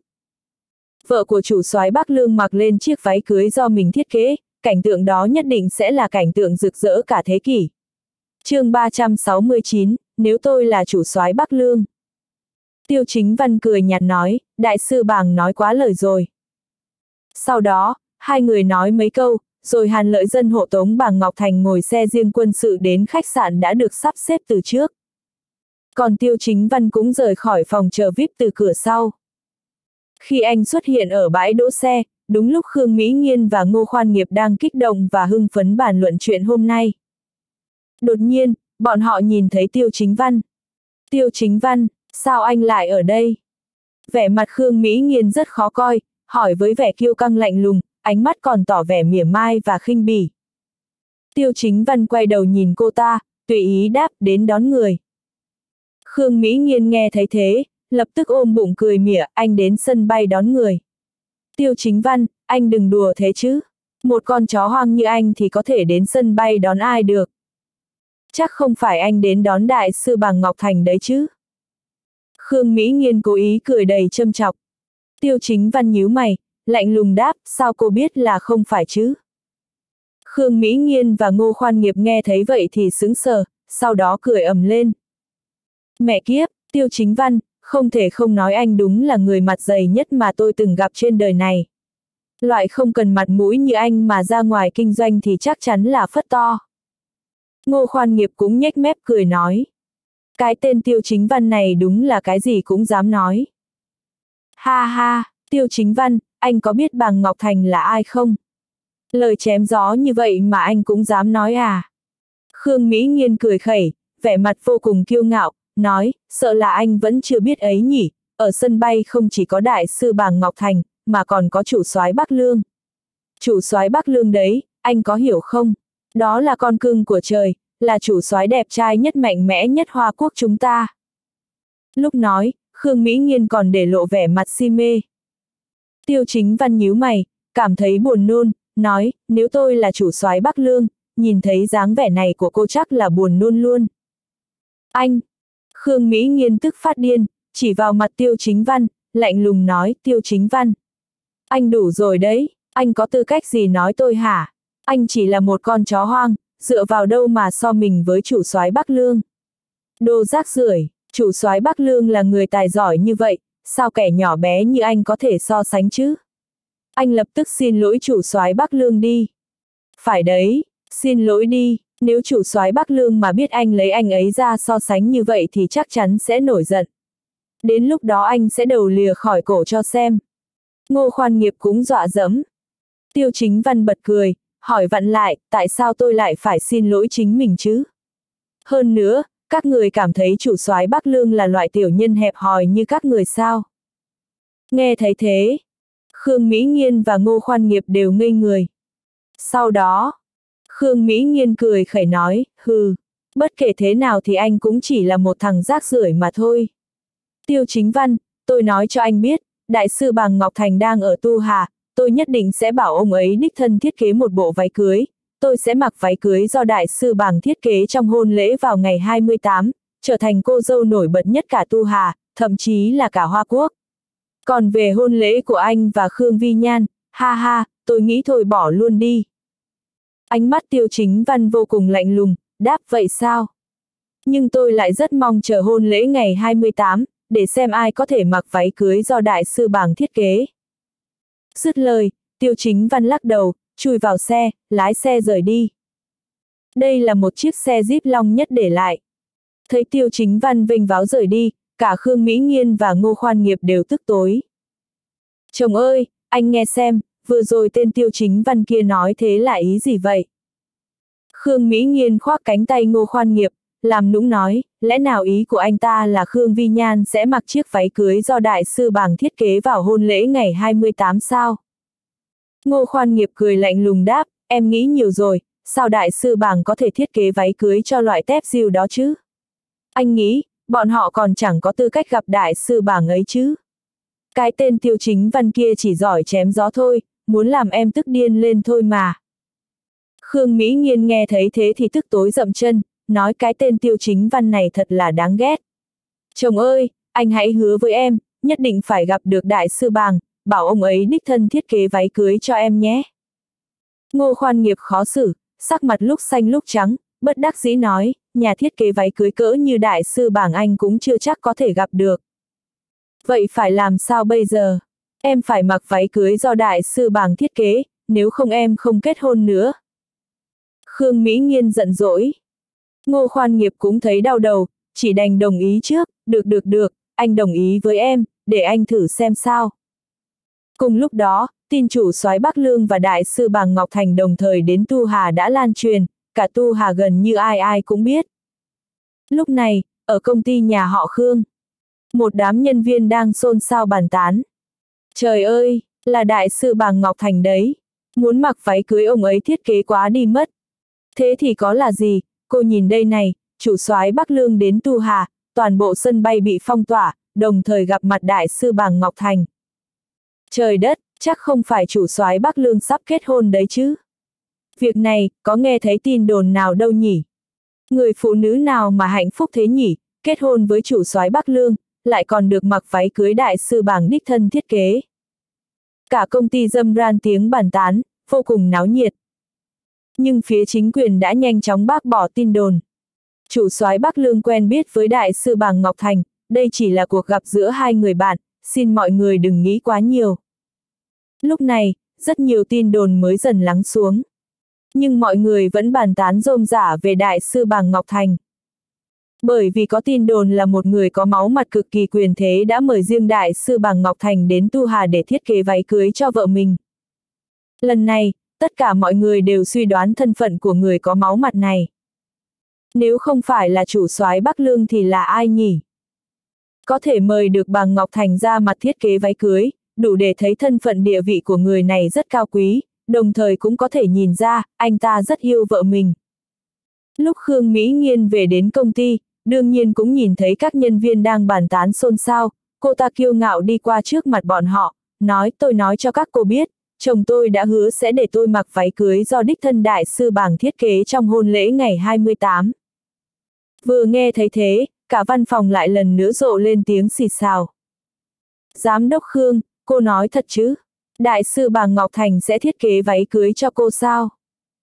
Trời đất, lẽ nào người có máu mặt kia chính là chồng của giám đốc Khương, cậu chủ của tập đoàn Ngô Thị?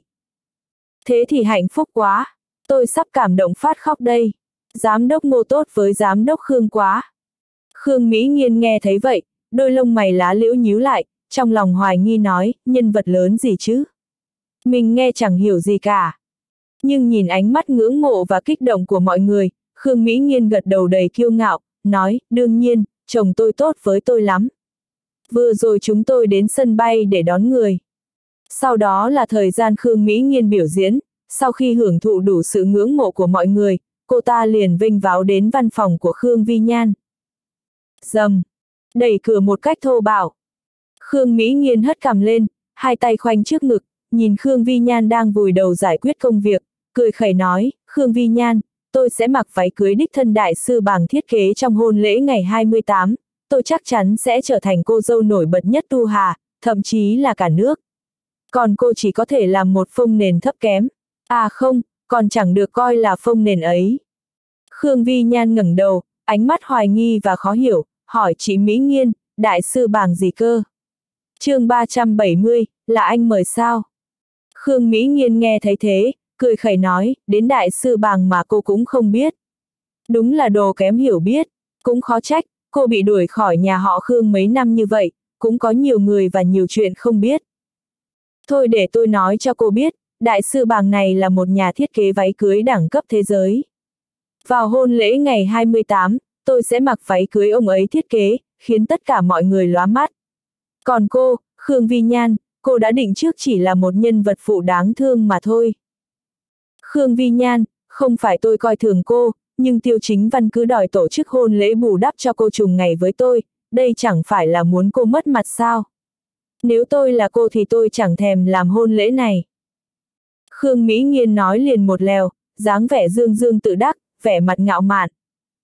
Khương Vi Nhan nghe thấy những lời này, trong lòng không khỏi hơi buồn bã và tủi thân.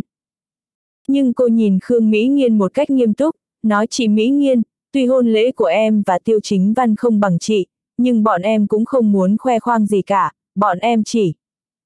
Được rồi, được rồi, cô đừng tự giải thích gì cả, cũng không cần nói đỡ cho tiêu chính văn.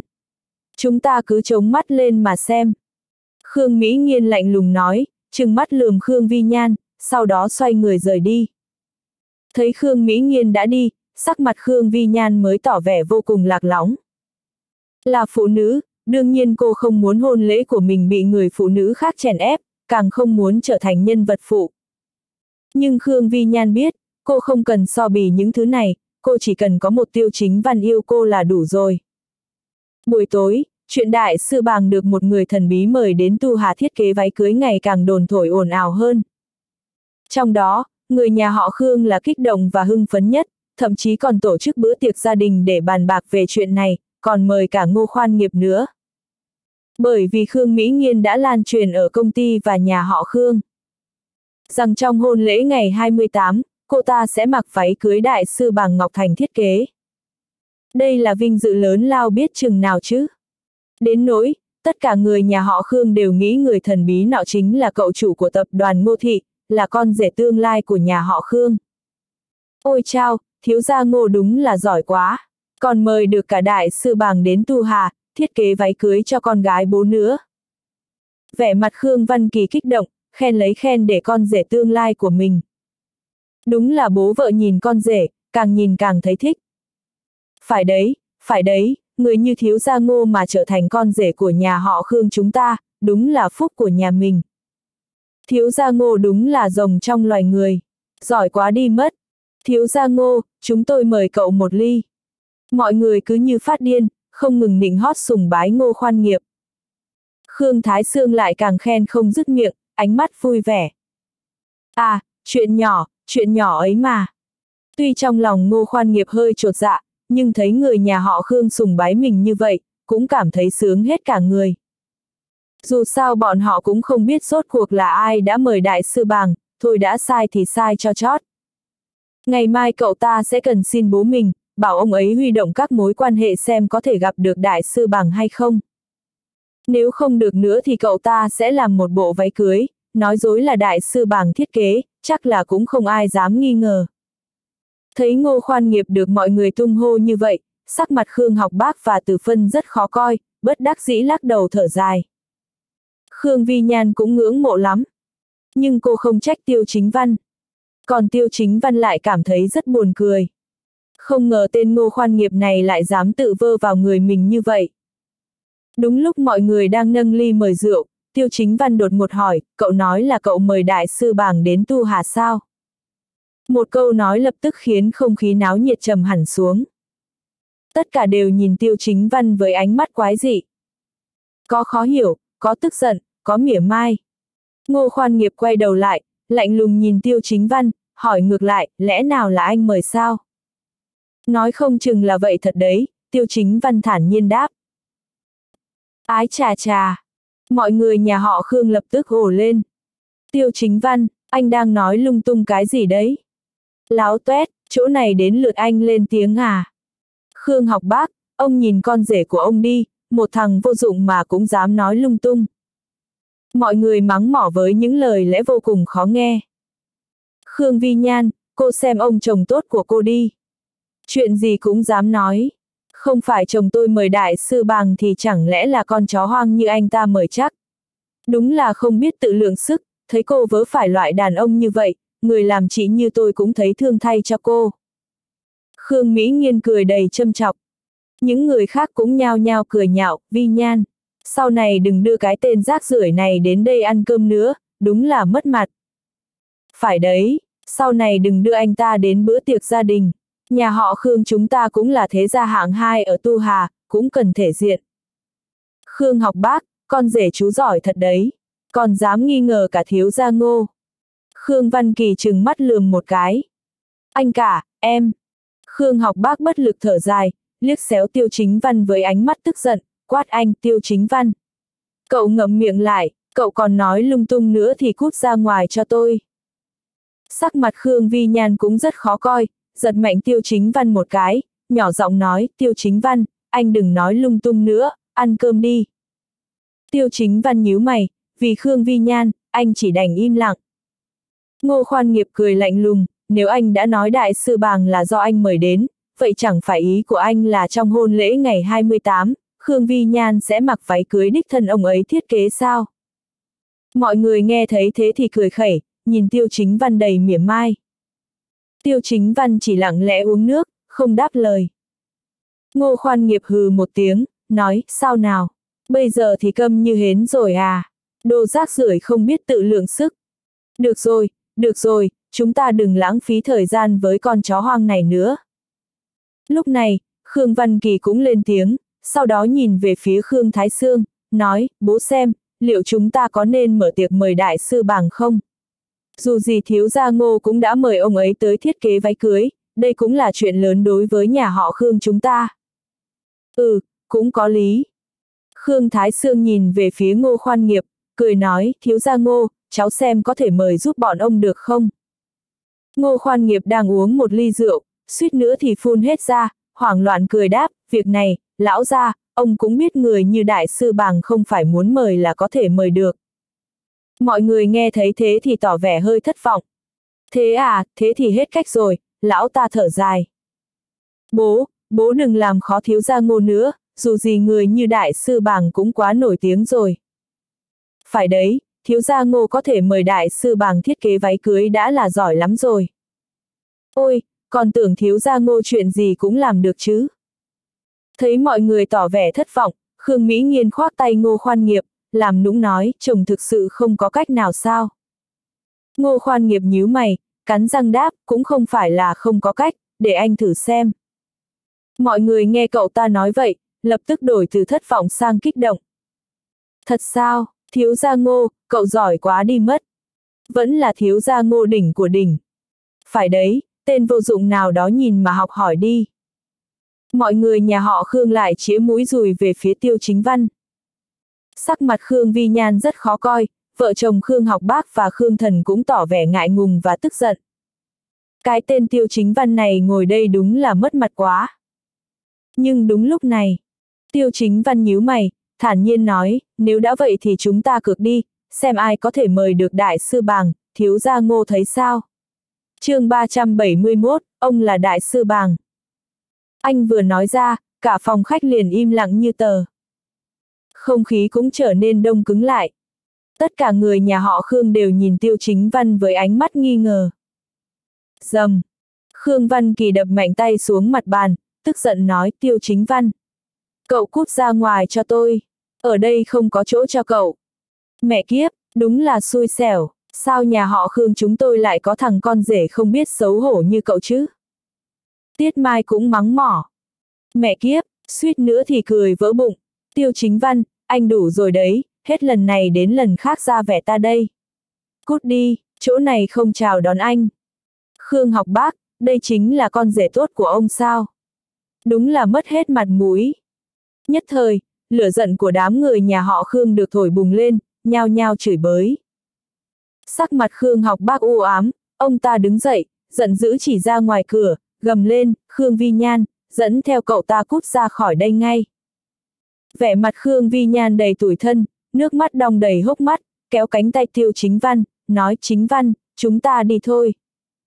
Tiêu Chính Văn nhìn mọi người đang xỉa sói mình, bất lực lắc đầu thở dài, anh đứng dậy nói, bữa cơm này không ăn thì thôi, tôi chỉ muốn nói cho các người biết, đừng để bị người nào đó lừa. Dứt lời, anh kéo tay Khương Vi Nhan, rời khỏi biệt viện nhà họ Khương. Tiêu chính văn vừa đi, mọi người nhà họ Khương liền cười xòa xin lỗi ngô khoan nghiệp. Thiếu gia ngô, cậu đừng để bụng, tiêu chính văn chính là loại rác rưởi như thế đấy. Đúng đúng đúng, thiếu gia ngô, cậu đừng chấp nhặt cái con chó hoang đấy. Nào nào nào, chúng ta mời rượu thiếu gia ngô nào. Còn ở bên này, tiêu chính văn kéo Khương Vi Nhan rời khỏi biệt viện nhà họ Khương, đi chưa được bao xa, bước chân Khương Vi Nhan dần dừng lại, cô cúi đầu, nhỏ giọng khóc. Tiêu chính văn xoay người, hỏi đầy quan tâm, em sao thế? Khương Vi Nhan ngẩng đầu, khóc sướt mướt, cô nhìn tiêu chính văn, nói chính văn, sau này anh có thể đừng nói lung tung nữa được không? Em vốn tưởng anh sẽ là chỗ dựa sau này cho em và Nana, nhưng hôm nay em mới phát hiện, anh quá trẻ con, tại sao anh không thực tế một chút đi? Tiêu chính văn nghe thấy thế, vẻ mặt trở nên căng thẳng, há miệng định giải thích gì đó. Nhưng nước mắt Khương Vi Nhan giản giụa, lắc đầu nói, anh không cần giải thích gì cả, em muốn yên tĩnh một mình. Dứt lời, Khương Vi Nhan hất tay tiêu chính văn ra, cô độc và lạc lõng men theo con đường, trở về sân nhỏ. Tiêu chính văn đứng dưới đèn đường, nhìn bóng lưng cô đơn của Khương Vi Nhan, trong lòng có chút xót xa. Cô ấy vẫn không tin mình. Chẳng còn cách nào khác, là do anh có quá nhiều chuyện không nói cho cô ấy biết. Vi Nhan, anh xin lỗi. Hãy tin anh, nhanh thôi, chẳng bao lâu nữa, anh sẽ nói tất cả mọi chuyện với em. Nhưng trước đó, anh nhất định sẽ chứng minh cho em thấy, anh không hề nói dối. Sau đó, Tiêu Chính Văn lấy điện thoại ra, gọi cho bà Ngọc Thành, bên kia lập tức vang lên giọng nói cung kính của ông ấy, chủ soái, cậu có dặn dò gì sao? Đại sư bàng, hai ngày nay ông có thời gian không, tôi muốn mời ông đến nhà tôi ăn cơm, tiêu chính văn nói. Bàng Ngọc Thành nghe thấy thế thì vẻ mặt lập tức trở nên kích động, giọng nói cũng cao lên, gấp gáp nói, có có có. Lúc nào tôi cũng rảnh, chỉ cần chủ soái bảo một câu là tôi sẽ đến ngay. Vậy được, trưa ngày mai nhé, đến nhà tôi ăn bữa cơm, tôi sẽ gửi địa chỉ cho ông, tiêu chính văn thản nhiên nói.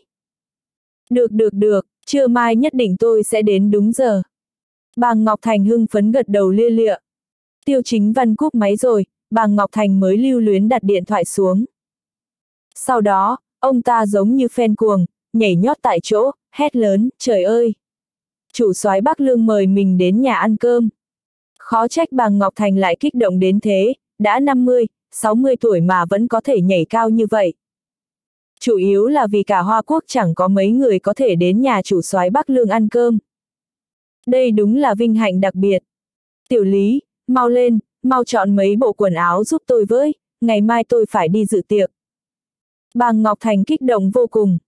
Cậu trợ lý phía sau cũng sốt sắng theo, nhanh chóng lôi mấy bộ quần áo trong vali ra. Nhưng bất kể thử bộ nào thì bà Ngọc Thành cũng cảm thấy không đủ long trọng. Thấy bà Ngọc Thành không chọn được, cậu trợ lý tiểu lý bỗng nhiên nói, thầy ơi, nếu là bữa cơm gia đình của chủ soái Bắc Lương, em nghĩ thầy nên giản dị chút. Bà Ngọc Thành nghe thấy thế, sắc mặt nghiêm túc, hỏi ngược lại, tại sao chứ? Bữa cơm long trọng như vậy, sợ là cả Hoa Quốc chẳng có mấy người có thể tham gia, đương nhiên phải mặc chỉn chu chút, thể hiện sự tôn trọng với vua Bắc Lương. Tiểu Lý nói, thầy bàng, thầy quên trước đó chủ soái Bắc Lương đã từng nói, tuyệt đối không được tiết lộ thân phận của anh ấy ra ngoài sao. Nếu chủ soái Bắc Lương mời thầy đến nhà ăn cơm thì tức là đã coi thầy như người nhà, nếu mặc chỉn chu quá thì lại không hay.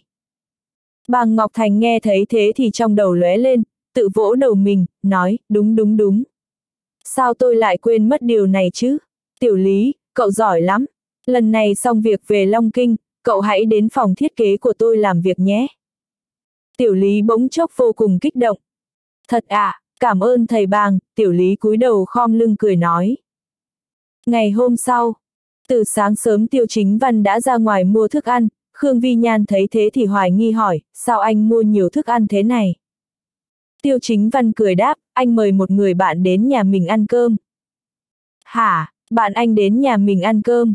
Sao anh không nói sớm cho em biết, em cũng chuẩn bị chút. Khương Vi Nhan hơi sốt ruột nói.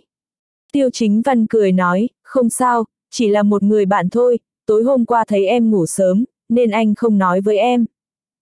Lúc anh nói, Khương Vi Nhan đã bước vào phòng bếp, bắt đầu nhặt rau giúp Tiêu Chính Văn, đồng thời tiện miệng hỏi, bạn nào thế anh?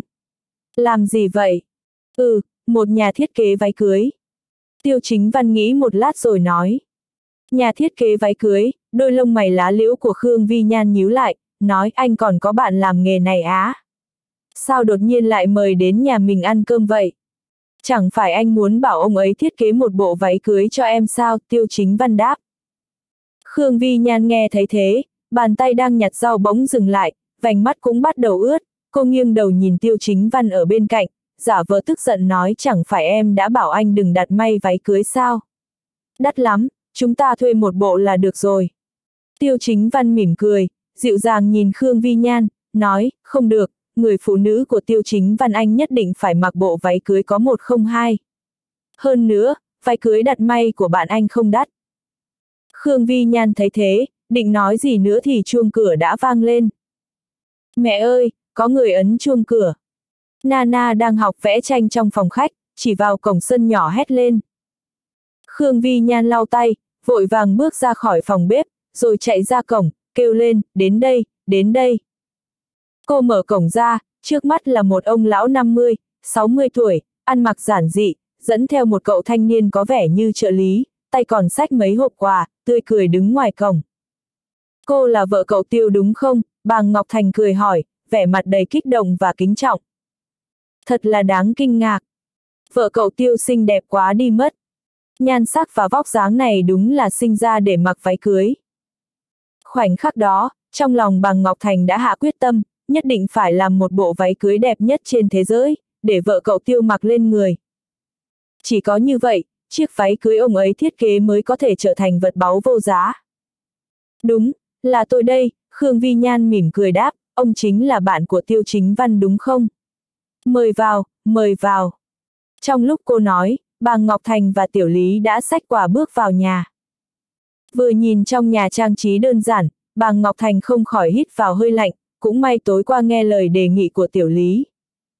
Bước vào phòng khách, Khương Vi Nhan hơi ngại ngùng nhận hộp quà trong tay bằng Ngọc Thành, sau đó đặt lên bàn trà, cười hỏi, ngại quá, tôi vẫn chưa biết tên của ông. À, tôi tên là Bàng Ngọc Thành, cô cứ gọi tôi ông bàng là được rồi, Bàng Ngọc Thành đứng dậy nhận lấy ly trà, cười đáp. Bàng Ngọc Thành. Khương Vi Nhan nghe thấy cái tên này, đầu tiên là nhíu mày, sau đó cả người run rẩy, kích động nói, ông, ông là đại sư bàng Ngọc Thành sao? chương 372, một đại sư bàng khác. Bàng Ngọc Thành cười híp mắt, gật đầu đáp, đúng rồi, tôi là bàng Ngọc Thành. Lúc này, Khương Vi Nhan đã kích động vô cùng, ánh mắt tỏ vẻ kinh ngạc. Đại sư Bàng Ngọc Thành. Không ngờ người trước mặt cô lại là đại sư thiết kế váy cưới hàng đầu cả thế giới, Bàng Ngọc Thành. Rốt, rốt cuộc chuyện này là sao? Chẳng phải đại sư Bàng Ngọc Thành được một người thần bí mời đến tu hà thiết kế váy cưới sao? Sao bây giờ lại xuất hiện ở đây? Ánh mắt Khương Vi Nhan tỏ vẻ khó hiểu, trong lòng đương nhiên cũng vô cùng chấn động.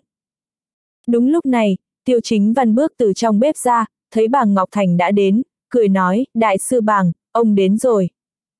Khoảnh khắc nhìn thấy tiêu chính văn, bàng Ngọc Thành lập tức tỏ ra rất rè rặt và cung kính, cười đầy kính trọng, nói cậu tiêu, tôi vừa đến. Ông cứ tự nhiên nhé, tôi nấu thêm mấy món nữa. Tiêu chính văn cười nói. À, được được được. Bàng Ngọc Thành đáp lời, nháy mắt với trợ lý, hai người liền ngồi trong phòng khách nhỏ hẹp. Còn Khương Vi Nhan cũng vội vàng kéo Tiêu Chính Văn vào phòng bếp, cô nhìn bàng Ngọc Thành đang xem Nana vẽ tranh ở bên ngoài, nhỏ giọng hỏi, chồng ơi, rốt cuộc chuyện này là sao vậy? Người kia là đại sư bàng Ngọc Thành thật sao? Sao ông ấy lại đến nhà chúng ta, còn nữa, sao anh lại quen được đại sư bàng Ngọc Thành? Thấy Khương Vi Nhan chẳng khác gì một đứa trẻ tò mò, Tiêu Chính Văn cười đáp, chẳng phải tối qua anh đã nói là anh mời đại sư bàng đến tu hà sao? Hả? Khương Vi Nhan nghe thấy thế thì rất kinh ngạc. Tiêu Chính Văn thực sự chính là người thần bí kia sao? Sao, sao có thể chứ? Tiêu Chính Văn, anh đừng lừa em, anh nói thật cho em biết đi. Ông ấy thực sự là đại sư bàng sao? Sao anh lại quen biết ông ấy? Khương Vi Nhan hỏi đầy nghiêm túc. Không phải cô không muốn tin tiêu chính văn, mà là chuyện này thực sự quá bất ngờ, khiến cô nhất thời khó mà chấp nhận được. Tiêu chính văn bật cười, dứt khoát nói, được rồi, ông ấy quả thực chính là đại sư bàng, anh quen ông ấy là nhờ bố anh. Sau khi biết ông ấy đến Tu Hà, anh mới mời ông ấy đến nhà chúng ta làm khách, muốn nhờ ông ấy thiết kế một bộ váy cưới cho em. Nghe tiêu chính văn giải thích, Khương Vi Nhan mới thở phào nhẹ nhõm, miễn cưỡng có thể chấp nhận được rồi. Hóa ra là nhờ mối quan hệ của nhà họ tiêu trước kia, thế thì còn nghe được. Nhưng, đột nhiên Khương Vi Nhan lại hỏi, anh muốn mời đại sư bàng thiết kế váy cưới cho em sao?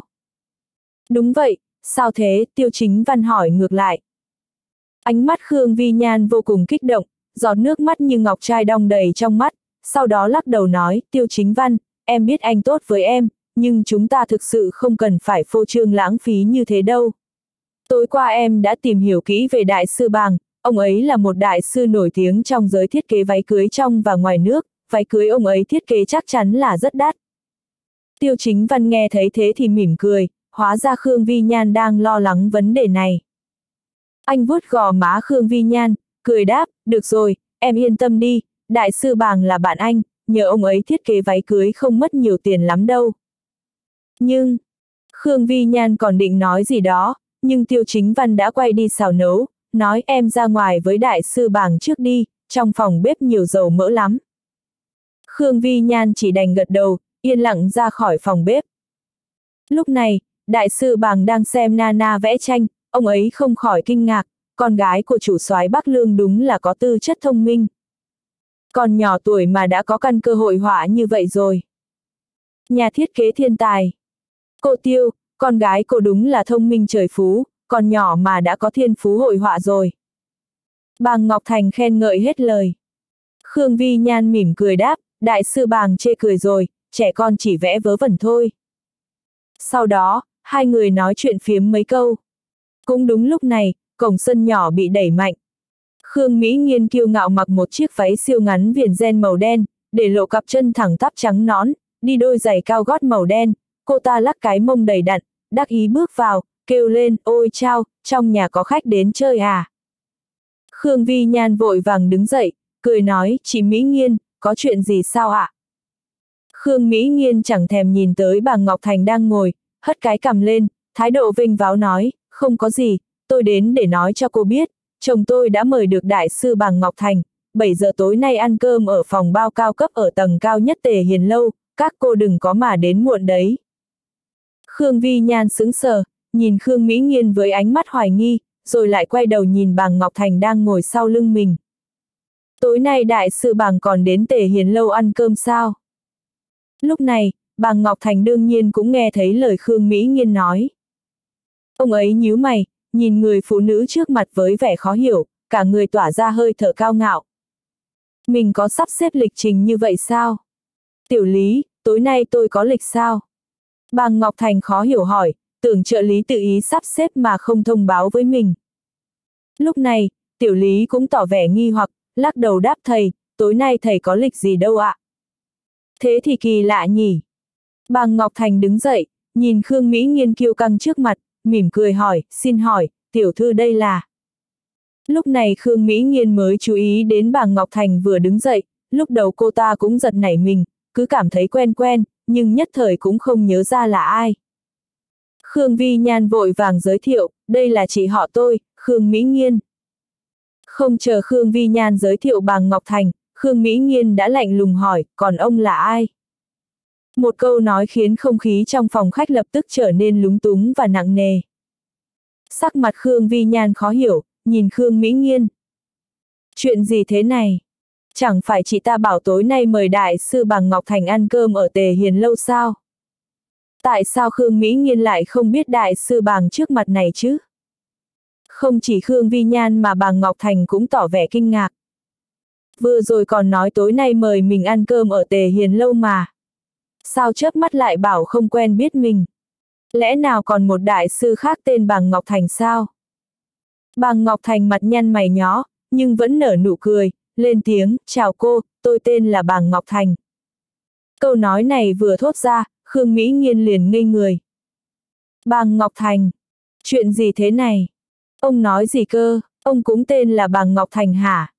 Khương Mỹ Nghiên hoài nghi hỏi, khuôn mặt tỏ vẻ khoa trương.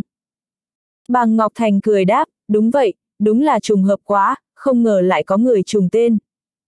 Sắc mặt Khương Mỹ Nghiên nghiêm trọng, sau đó hình như nghĩ ra gì đó, cô ta lạnh lùng cười nói, xin hỏi ông bàng đây có phải là đại sư bàng trong giới thiết kế váy cưới không? Bàng Ngọc Thành mỉm cười, chắp tay sau lưng đáp, chính là tôi đây. Ha ha ha.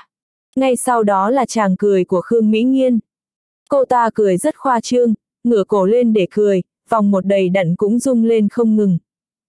Ông chính là đại sư bàng Ngọc Thành sao, Khương Mỹ Nghiên sắp cười chảy cả nước mắt. Lần này thì đến lượt bàng Ngọc Thành sững sờ, nhìn Khương Vi Nhan với vẻ khó hiểu. Khương Vi Nhan vội vàng nói, chị Mỹ Nghiên, ông ấy là đại sư bàng Ngọc Thành thật đấy. Vớ vẩn. Khương Mỹ Nghiên lạnh lùng quát, rồi nói, nếu ông ta là đại sư bàng Ngọc Thành thì tôi chính là vương phi của Hoa Quốc. Tôi đã nói mà, sao tôi cứ cảm thấy quen mắt thế, hóa ra là các cô tìm một diễn viên đóng thế. chương 373, cho anh một cơ hội. Diễn viên đóng thế. Nghe vậy, Khương Vi Nhan sửng sốt, khó hiểu nhìn bàng Ngọc Thành hỏi, đại sư bàng, đây. Bàng Ngọc Thành cũng ngơ ngác, mình là diễn viên đóng thế sao? Đây là lần đầu tiên ông ấy nghe có người nói như vậy. Tiểu thư Khương, ý cô là gì? Bàng Ngọc Thành cao mày hỏi. Hừ. Khương Mỹ Nghiên lạnh lùng hừ một tiếng, khoanh tay trước ngực, thái độ kiêu ngạo nhìn bàng Ngọc Thành nói, ý gì là ý gì? Tôi nói ông là đại sư bàng giả. Đúng là hiếm lạ, không ngờ tôi đến đây còn có thể gặp được một đại sư bàng giả. Đại sư bàng giả. Bàng Ngọc Thành nhíu mày, bất lực lắc đầu cười tự diễu. Cả đời này, đây là lần đầu tiên ông ấy nghe người khác nói mình là đại sư bàng giả. Cô nói tôi là giả sao, bàng Ngọc Thành hỏi ngược lại. Tất nhiên. Khương Mỹ Nghiên khẳng định chắc chắn, đại sư bàng thật bây giờ đang ở nhà tôi, ông không phải giả thì là gì. Thành thật khai báo đi, ai bảo ông đến giả mạo đại sư bàng. Có phải là tiêu chính văn không? Ông nên biết giả mạo đại sư bàng sẽ có hậu quả thế nào. Đại sư bàng chỉ đành lắc đầu liên tục, bây giờ ông ấy đã hiểu. Đại sư bàng mà đối phương nói mới là người giả mạo. Không ngờ còn có người dám giả mạo mình. Bàng Ngọc Thành vừa định lên tiếng giải thích thì Khương Mỹ Nghiên đã ngắt lời, lạnh lùng nhìn Khương Vi Nhan mắng, Khương Vi Nhan, bảo tiêu chính văn ra đây, chỉ có anh ta mới có thể làm ra được mấy cái trò này. Tôi nhất định phải về nói với bố tôi, ông nội và đại sư bàng thật. Vậy mà dám giả mạo đại sư bàng, to gan thật đấy. Sắc mặt Khương Vi Nhan trở nên xám xịt nhìn bàng Ngọc Thành bên cạnh. Bây giờ cô cũng không biết bàng Ngọc Thành này có phải là thật hay không. Dù sao bà Ngọc Thành cũng là đại sư thiết kế váy cưới hàng đầu thế giới. Tuy Tiêu Chính Văn giải thích vì trước đây có quan hệ với nhà họ Tiêu nên mới quen với bà Ngọc Thành. Nhưng bây giờ lại nghe Khương Mỹ Nghiên nói vậy, cô cũng bắt đầu nghi ngờ. Lẽ nào để làm mình vui nên Tiêu Chính Văn tìm một người giống đại sư bảng đến diễn? Thấy sắc mặt Khương Vi Nhan hơi khó coi, bàng Ngọc Thành lộ vẻ nghi ngờ và dối rắm vội nói cô Tiêu, tôi là đại sư bảng thật, xin cô hãy tin tôi, tôi. Được rồi, ông đừng nói nữa, tôi biết rồi. Mắt Khương Vi Nhan đỏ ửng, lau đi giọt nước mắt nơi khóe mắt nhìn Tiêu Chính Văn lúc này vừa ra khỏi phòng bếp, Tiêu Chính Văn, anh có gì muốn giải thích với em không? Tiêu Chính Văn lau tay, không biết gì nhìn Khương Vi Nhan, ánh mắt đồng thời liếc nhìn Khương Mỹ Nghiên kiêu ngạo ngồi đó. Sao cô lại ở đây? Tiêu Chính Văn lạnh lùng hỏi. Khương Mỹ Nghiên hừ một tiếng nói, tại sao tôi không thể ở đây chứ? Sao vậy, sợ tôi vạch trần trò bịp bợm của anh à? Có ý gì, tiêu chính văn cao mày, ánh mắt lộ ra vẻ không vui. Ồ, còn giả vờ sao? Chẳng phải anh mời một đại sư bàng giả đến ăn cơm ư? Bị tôi bắt được tại trận rồi mà còn không thừa nhận à? Khương Mỹ Nghiên nhướng mày lạnh lùng nói, khoanh tay trước ngực làm lộ rõ vóc dáng đầy đặn. Đại sư bàng giả. Tiêu chính văn nhíu mày quay đầu nhìn bàng Ngọc Thành một bên. Bàng Ngọc Thành bất lực lắc đầu tỏ vẻ mình cũng không hiểu gì. Thấy bộ dạng chưa thấy quan tài chưa đổ lệ của tiêu chính văn, Khương Mỹ Nghiên chỉ vào bàng Ngọc Thành vẻ mặt vô tội nói, ông ta chính là đại sư bàng giả. Là anh tìm người giả mạo. Nghe vậy, tiêu chính văn mới hiểu, cười mỉa mai nói, giả à? Ai nói với cô là giả? Hừ, tôi biết là anh sẽ không thừa nhận mà. Tôi nói cho anh biết 7 giờ tối nay, chúng tôi sẽ mời đại sư bàng đến phòng bao cao cấp ở tầng cao nhất tề hiền lâu ăn cơm. Nhưng không phải là cái người đang đứng ở đây, cho nên anh dám nói người này không phải là giả à. Khương Mỹ Nghiên cao ngạo nói, ánh mắt lộ vẻ chế nhạo. Tiêu chính văn nhíu mày hỏi, cô nói tối nay sẽ mời đại sư bàng ở tề hiền lâu sao? Phải, Khương Mỹ Nghiên khẳng định chắc chắn. Tiêu chính văn gật đầu nhìn bàng Ngọc Thành hỏi, đại sư bàng, có chuyện này không? Bàng Ngọc Thành cười gượng lắc đầu nói, cậu tiêu, tối nay tôi không hề có sắp xếp này. Ồ, tiêu chính văn hiểu ra rồi, anh cười nhạt hỏi, nói như vậy, người kia là đại sư bàng giả mà ngô khoan nghiệp mời đến. Cái gì giả, ông ta mới là giả. Khương Mỹ Nghiên tức chết mất, quát lớn, tiêu chính văn, anh đủ rồi đấy. Anh tìm một đại sư bàng giả mà còn có thái độ này. Nếu đã như vậy, vậy được, tối nay các anh cùng đến đó, chúng ta mặt đối mặt xem ai mời đến đại sư bàng thật. Được. Tiêu chính văn đáp. Mà lúc này hai mắt Khương Vi Nhan đỏ bừng nói, chính văn, đủ rồi. Tiêu chính văn quay đầu lại, hơi khó hiểu nhìn Khương Vi Nhan.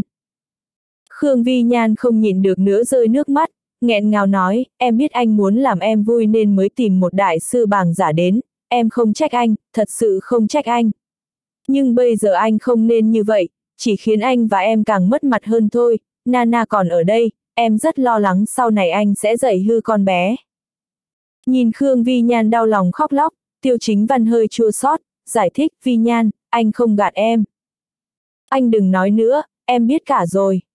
Dứt lời, Khương Vi Nhan xoay người đi vào phòng nhốt mình trong đó. Khương Mỹ Nghiên nói, hừ, tiêu chính văn, tôi mong tối nay anh có thể dẫn theo vị đại sư bàng giả này đến. Được, chắc chắn rồi. Tiêu chính văn nói. Sau đó, Khương Mỹ nghiên hừ một tiếng xoay người đi ra khỏi sân nhỏ. Nhìn bóng lưng dần xa của Khương Mỹ nghiên, sắc mặt tiêu chính văn hơi u ám. Anh nhìn bàng Ngọc Thành nói, đại sư bàng, tối nay còn phải nhờ ông đến bữa tiệc với tôi. Việc tôi nên làm, nên làm. Bàng Ngọc Thành gật đầu cười nói, tôi cũng không ngờ lại có người giả mạo tên tôi để lừa gạt. Nói thật, tôi cũng rất muốn nhìn xem rốt cuộc là ai giống tôi như vậy, ngay cả người thật là tôi cũng bị nói thành giả. Tiêu chính văn gật đầu tỏ ý bà Ngọc Thành cứ ngồi tự nhiên, sau đó anh nhẹ nhàng đi vào phòng ngủ, đẩy cửa ra thì thấy một mình Khương Vi Nhan đang nằm khóc thút thít trên giường, vai không ngừng run rẩy. Vi Nhan. Tiêu chính văn vừa gọi cô, Khương Vi Nhan tức giận ném gối về phía anh nói, anh ra ngoài. Ra ngoài. Tiêu chính văn nhặt cái gối lên, mặt dày đi đến trước mặt Khương Vi Nhan nói, Vi Nhan, hãy tin anh, anh thật sự không gạt em. Anh mời đến đại sư bàng thật mà, tối nay em cứ đi theo anh, em sẽ biết ai là thật, ai là giả. Chính văn, đã đến lúc này rồi mà anh còn muốn gạt em sao? Mặt Khương Vi Nhan đầy nước mắt, đôi mắt đỏ bừng, rất uất ức. Em không oán trách anh, cũng không giận anh gạt em, nhưng em không thể hiểu được anh đã bị chị Mỹ nghiên vạch trần rồi mà còn có thể diễn được, anh không thấy rất mất mặt sao? Khương Vi Nhan vừa khóc vừa nói. Vốn tưởng rằng Tiêu Chính Văn là người đàn ông có thể dựa vào, có thể tin tưởng. Bây giờ xem ra là mình quá ngu ngốc. Tiêu Chính Văn bỗng đi đến ôm chặt Khương Vi Nhan vào lòng. Mặc cho Khương Vi Nhan dẫy dụa, anh dịu dàng nói, Vi Nhan, Tiêu Chính Văn anh thể với trời anh không gạt em. Hãy cho anh một cơ hội để chứng minh mình được không? Khương Vi Nhan được Tiêu Chính Văn ôm vào lòng lại càng khóc to hơn, cuối cùng cô đẩy anh ra lau nước mắt, nghiêm túc nói, được, em cho anh một cơ hội. Tối nay, có mất mặt thì cùng mất mặt, nhưng Tiêu Chính Văn, anh hãy nhớ những lời anh vừa nói. chương 374, buộc phải vạch trần. Mà lúc này, ở biệt viện nhà họ Khương. Người nhà họ Khương đang ngồi nói chuyện với Ngô Khoan Nghiệp và một người đàn ông đứng tuổi ăn mặc sang trọng. Đại sư Bàng, thật là vinh hạnh khi chúng tôi có thể mời ông tới nhà làm khách. Khương Thái Sương kích động nói. Thật không ngờ, Ngô Khoan Nghiệp có thể mời đại sư Bàng trong tin đồn tới. Những người khác trong nhà họ Khương cũng kích động hùa theo. Đại sư Bàng không hổ là đại sư thiết kế váy cưới hàng đầu thế giới, phong cách này quả thật người bình thường không so bì được. Đại sư Bàng ghé thăm nhà họ Khương là vinh hạnh cho nhà họ Khương chúng tôi. Chuyện này phải được công bố ra để mấy thế gia ở Tu Hà mở mang tầm mắt. Phải phải phải, nhất định phải làm tốt chuyện công khai. Đây là cơ hội tốt cho nhà họ Khương chúng ta nở mày nở mặt. Lúc này, đại sư bàng giả người mà mọi người đang khen ngợi đang ngồi trên ghế thái sư nhấp ngụm trà, suýt nữa thì phun hết nước trà ra. Mặt ông ta đỏ bừng, hơi căng thẳng nhìn ngô khoan nghiệp đang ở bên cạnh. Ông sao thế đại sư bàng? Trà nóng quá hay sao? Khương Văn Kỳ Ân cần hỏi thăm. Đại sư bàng giả dè giặt cười ha hả nói, hơi nóng. Phải nói là ngoại hình cũng như tướng mạo của ông đại sư bàng giả này rất giống với bàng Ngọc Thành, giống tới 8 phần. Nếu là người bình thường thì thật khó để phân biệt được ai thật ai giả. Lúc này, đại sư bàng giả đang nhìn ngô khoan nghiệp với ánh mắt cầu cứu, ngô khoan nghiệp cũng phản ứng lại, cười nói, thưa bác, thưa lão gia, cháu thấy không cần đâu. Suy cho cùng thì đại sư bàng không thích mua danh trục lợi, hơn nữa lần này ông ấy tới Tu Hà là vì lời mời riêng nên không muốn để lộ hành tung của mình, tránh dẫn tới rắc rối không đáng có. Nghe thấy vậy, Khương Văn Kỳ hùa theo nịnh hót đúng, đúng, đúng. Thiếu gia ngô nói đúng, chúng tôi cân nhắc không kỹ rồi, đại sư bàng, mong ông đừng trách tôi. Đại sư bàng giả mỉm cười gật đầu, không sao, không sao. Khi mọi người đang không ngừng tân bốc đại sư bàng giả và ngô khoan nghiệp thì ở bên kia, Khương Mỹ Nghiên vội vội vàng vàng đi vào, vui mừng hét lớn, bố, ông nội, mọi người đoán xem lúc nãy cháu tới sân nhỏ gặp được ai. Thấy Khương Mỹ Nghiên hùng hổ mặt mày hớn hở bước vào, Khương Thái Sương lạnh lùng chừng mắt nhìn cô ta, trách móc không ra thể thống gì cả. Không thấy đại sư bàng còn đang ở đây sao? Lúc này Khương Mỹ Nghiên mới bớt khoa trương, cúi người xin lỗi, xin lỗi đại sư bàng, cháu thất lễ rồi.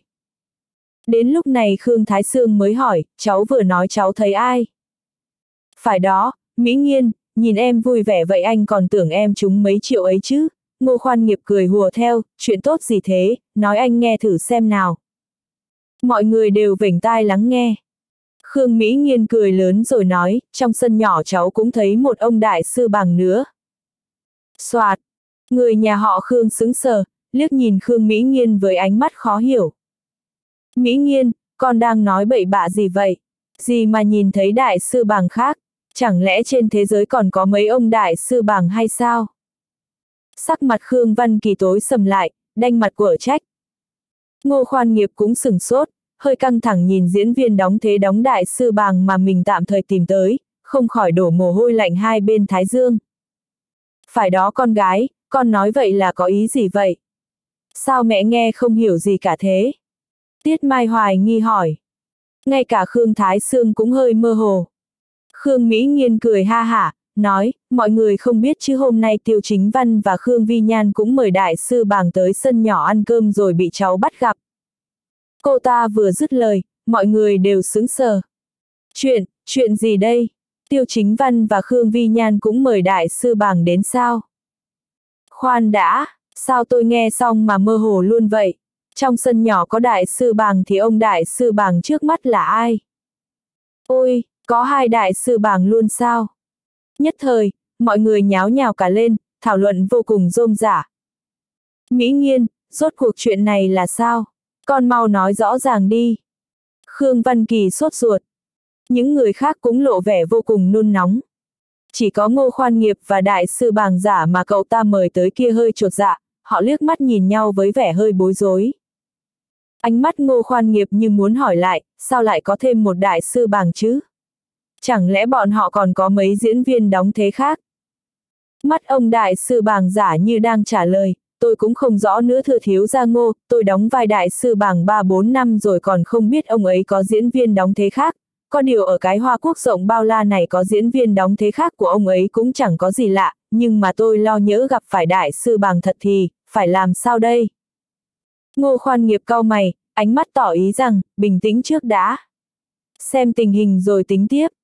Sau đó ngô khoan nghiệp đứng dậy, giả bộ rất khó coi hỏi, Mỹ Nghiên, em nói là trong sân nhỏ cũng có một đại sư bàng sao?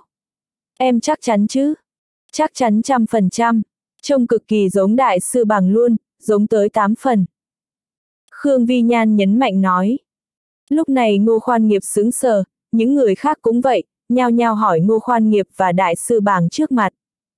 Rốt cuộc chuyện này là sao? Thiếu gia ngô, chẳng lẽ lại có tới mấy đại sư bàng à?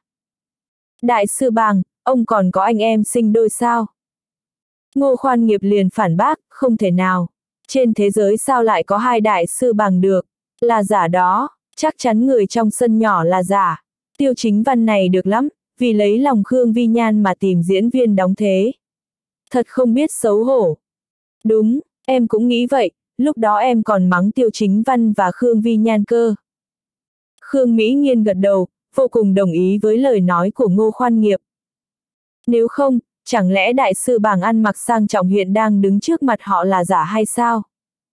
Sao có thể chứ? Đại sư bàng trong sân nhỏ ăn mặc rất giản dị, không hề có phong thái của một đại sư. Đây cũng là lý do Khương Mỹ Nghiên chắc chắn như vậy. Nếu để bàng Ngọc Thành thật biết thì ông ấy cũng cạn lời. Không ngờ bản thân ăn mặc bình thường tùy ý lại bị coi là hàng nhái cao cấp loại A. Nghe thấy những lời này, đám người nhà họ Khương mới tỉnh ngộ, vẻ mặt nghiêm túc chửi bới tới tấp. Thật không biết xấu hổ, vậy mà còn dám tìm người giả mạo đại sư bàng. Cái thằng tiêu chính văn này, ngưu ma quỷ trước gì cũng nghĩ ra được. Đại sư bàng, ông yên tâm, nhất định chúng tôi sẽ dạy dỗ nghiêm túc tên tiêu chính văn và Khương Vi Nhan kia. Tuyệt đối sẽ không cho phép họ làm ô uế danh tiếng của ông. Đại sư bàng giả vội gật đầu, đứng chắp tay sau lưng, nghiêm khắc mắng, hừ. Tôi không ngờ còn có người dám giả mạo danh tiếng của tôi để đi lừa bịp. Người như này nhất định phải bắt trói lại. Có người dám cướp công việc của ông ta khiến Đinh Lập Xuân rất tức giận. Mấy năm nay ông ta phất lên như diều gặp gió là do ngoại hình quá giống đại sư Bàng Ngọc Thành, ông ta nhận không ít hoạt động kinh doanh nhỏ, kiếm được khối tiền. Những hoạt động kinh doanh này đều là mở những cửa hàng như tiệm váy cưới hoặc khánh thành khách sạn tiệc cưới hay là tổ chức hôn lễ ở một vài địa điểm nhỏ, v, v. Mà cũng rất ít người thực sự biết Bàng Ngọc Thành, do đó Đinh Lập Xuân không hề lo sẽ có người vạch trần mình. Đúng, nhất định phải vạch trần bọn họ. Ngô Khoan Nghiệp tức giận nói, đi, giờ chúng ta đi vạch trần tên đại sư bàng giả kia a à, chồng ơi đừng vội, em với Tiêu Chính Văn đã hẹn rồi, 7 giờ tối nay bảo bọn họ dẫn đại sư bàng giả đó cùng tới tề hiền lâu, tới lúc đó chúng ta hắng vạch trần anh ta trước mặt mọi người, để anh ta và Khương Vi Nhan lên không được mà xuống cũng không xong. Khương Mỹ Nghiên hung dữ nói, thầm thấy vô cùng sảng khoái, cực kỳ mong chờ bữa tiệc tối nay. chương 375, quỳ xuống xin lỗi ư. Ông không xứng. Nghe vậy, ngô khoan nghiệp cũng cười khẩy, nói, không tồi. Ý kiến này được đấy, khiến cho anh ta không ngóc đầu lên nổi. Đúng đúng đúng, nên làm như thế. Vừa hay đại sư bàng cũng ở đây, thật giả tự khắc sẽ rõ ràng. Cái tên tiêu chính văn này cũng buồn cười thật đấy, vậy mà lại dám tìm người giả mạo đại sư bàng. Lúc này, đám người nhà họ Khương đều đồng loạt trưng ra vẻ mặt châm biếm và nụ cười khẩy. Tiếp đó, vào lúc mọi người đang cùng nhau tán gẫu thì ngô khoan nghiệp lại kéo Đinh Lập Xuân ra ngoài, nhìn xung quanh một lượt rồi mới nhỏ giọng nói, ông có nắm chắc không đấy? Đinh Lập Xuân nói, thiếu gia ngô, cậu yên tâm, chuyện đóng giả đại sư bàng này tôi là diễn viên lão làng rồi, không ai có thể diễn giống hơn tôi đâu. Chỉ cần đối phương không phải đại sư bàng thật thì về cơ bản tôi chính là người thật. Nghe vậy, ngô khoan nghiệp gật đầu, hài lòng cười nói tốt, tốt lắm. Xong việc sẽ cho ông thêm 10.000 tệ. Thật sao, cảm ơn thiếu gia ngô. Ninh Lập Xuân kích động hô lên, nước mắt lưng tròng. Ông ta hơn 50 tuổi, vì miếng cơm manh áo mà phải đóng giả nhân vật lớn cũng không dễ dàng gì. Buổi tối, trong phòng bao cao cấp nhất trên tầng cao nhất tề hiền lâu. Lúc này, ba chiếc bàn trong phòng bao đã chật kín chỗ. Đám người nhà họ Khương đang bàn tán sôi nổi về đại sư bàng ngồi ở chính giữa và cả ngô khoan nghiệp.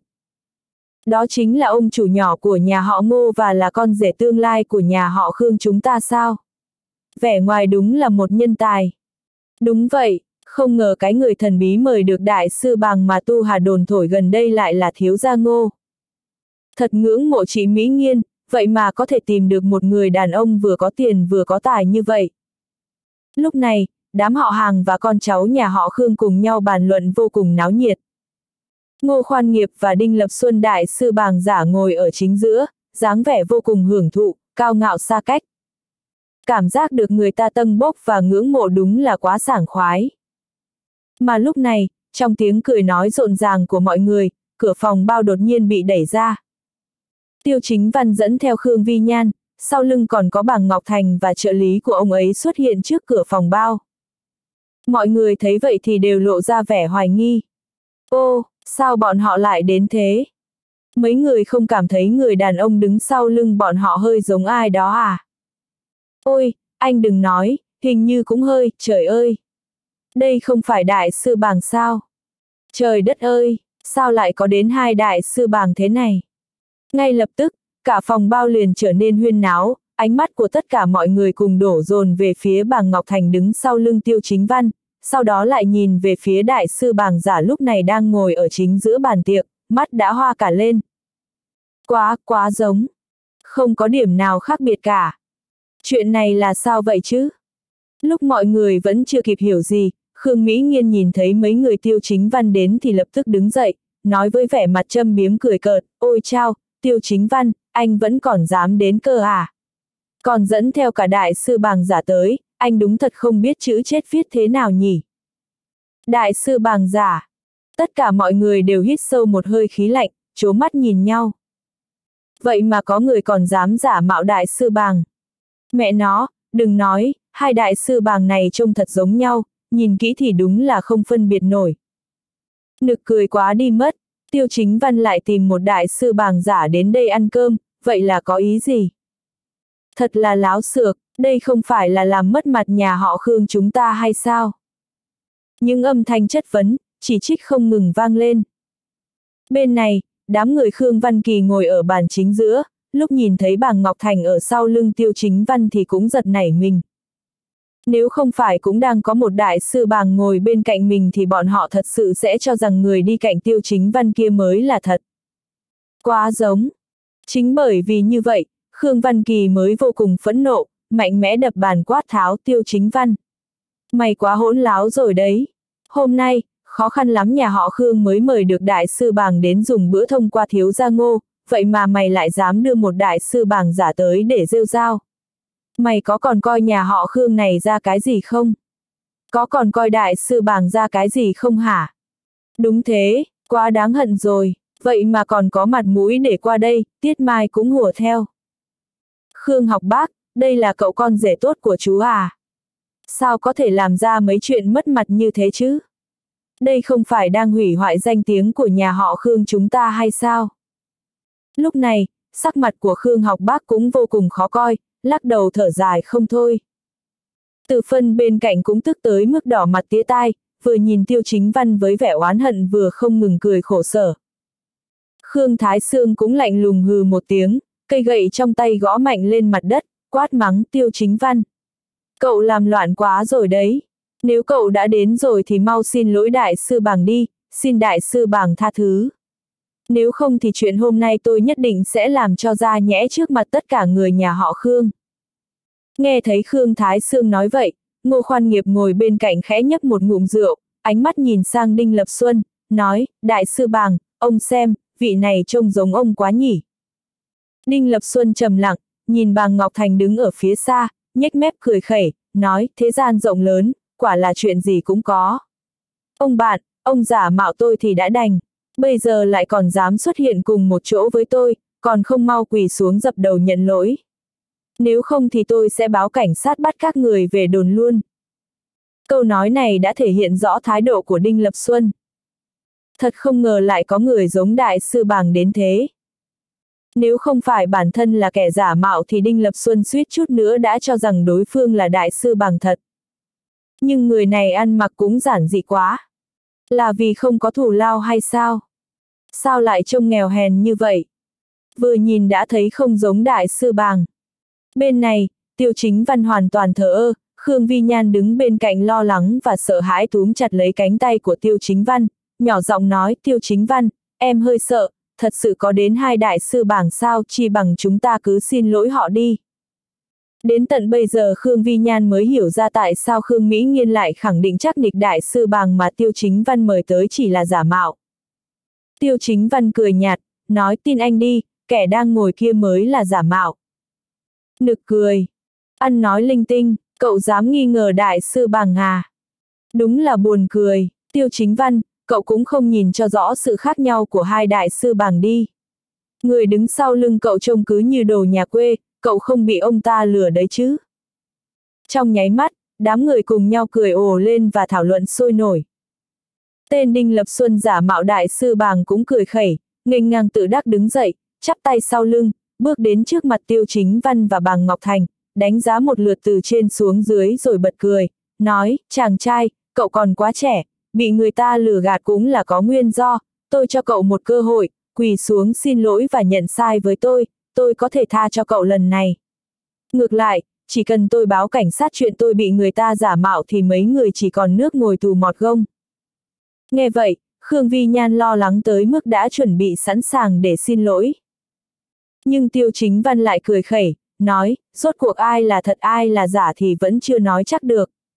Nhưng nếu bây giờ ông quỳ xuống xin lỗi và thừa nhận ông là kẻ giả mạo thì có thể tôi sẽ đề nghị đại sư bàng tha cho ông một lần này. chương 376, hoảng sợ, thật sự hoảng sợ rồi. Nghe những lời nói này, không gian lắng như tờ. Tất cả mọi người đều hít vào một hơi khí lạnh. Sao tên tiêu chính văn này lại có thể kiêu ngạo như vậy?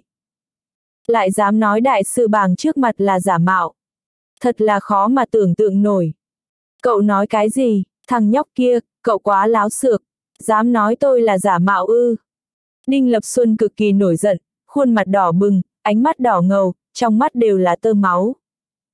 Điều ông ta kiêng rẻ nhất là bị người khác chỉ thẳng mặt là đồ giả mạo. Điều này làm nội tâm ông ta vừa hoảng sợ vừa tức giận. Mặc dù bản thân chính là kẻ giả mạo, nhưng bị người khác nói ra, trong lòng Đinh Lập Xuân thực sự nổi giận. Tiêu chính văn, đủ rồi, sao anh lại có thể không tôn trọng đại sư bàng như vậy? Còn dám nói đại sư bàng là giả mạo. Ngô khoan nghiệp lập tức đứng dậy, sắc mặt u ám chừng mắt nhìn tiêu chính văn quát lớn. Đúng là điên rồi, đại sư bàng là người có thân phận tôn quý thế nào, mà lại có thể bị nghi ngờ là giả mạo. Buồn cười chết mất, tiêu chính văn sẽ không cho rằng bản thân mời được người thật đến chứ. Buồn cười quá đi mất, tôi không nhìn nổi nữa rồi, mau đuổi anh ta ra ngoài đi. Sắc mặt người nhà họ Khương đều cực kỳ phẫn nộ. Khương học bác và từ phân giận tím mặt, đập mạnh ly rượu trước mặt xuống bàn, tức giận quát Khương Vi Nhan. Lập tức đưa cậu ta và cả tên giả mạo đại sư bàng cút ra ngoài. Khương học bác tôi không có loại con gái con rể như vậy. Hừ, thật là quá mất mặt, nhà họ Khương chúng ta sao lại có loại con rể như vậy chứ? Từ phân tức tối làm ẩm ý lên. Khương thần ngồi yên một chỗ, chỉ biết lắc đầu cười khẩy, khinh thường nói, có những người, cái gì cũng không giỏi, chỉ có tỏ vẻ là giỏi. Bên này, Khương Vi Nhan cũng lo lắng không thôi, cơ thể run rẩy, bàn tay nhỏ nhắn ôm chặt cánh tay của Tiêu Chính Văn. Thực sự, cô cảm thấy xấu hổ muốn tìm một cái lỗ để chui xuống. Sớm biết thế này, lẽ ra bản thân không nên tin tưởng Tiêu Chính Văn. Nhưng mà, đối mặt với sự chế giễu và khinh bỉ của mọi người, Tiêu Chính Văn cười khẩy, nhướng mày, cơ thể toát ra áp lực bức người, nhìn chằm chằm Đinh Lập Xuân nói, vị đại sư bảng này, tôi đã cho ông cơ hội rồi, là ông không biết quý trọng. Hừ. Đinh Lập Xuân lạnh lùng hừ một tiếng, cười lớn nói, nực cười. Tôi chính là đại sư bằng thật, tôi còn sợ cậu mời được một người giả mạo tới nữa sao? Lúc nói câu này, ánh mắt Đinh Lập Xuân không mấy thiện cảm nhìn bàng Ngọc Thành phía sau tiêu chính văn. Bàng Ngọc Thành cũng cạn lời lắc đầu, mỉm cười nói, thật không ngờ, bàng Ngọc Thành tôi sống lâu như vậy, lại có thể gặp một bàng Ngọc Thành giả mạo giống như thế.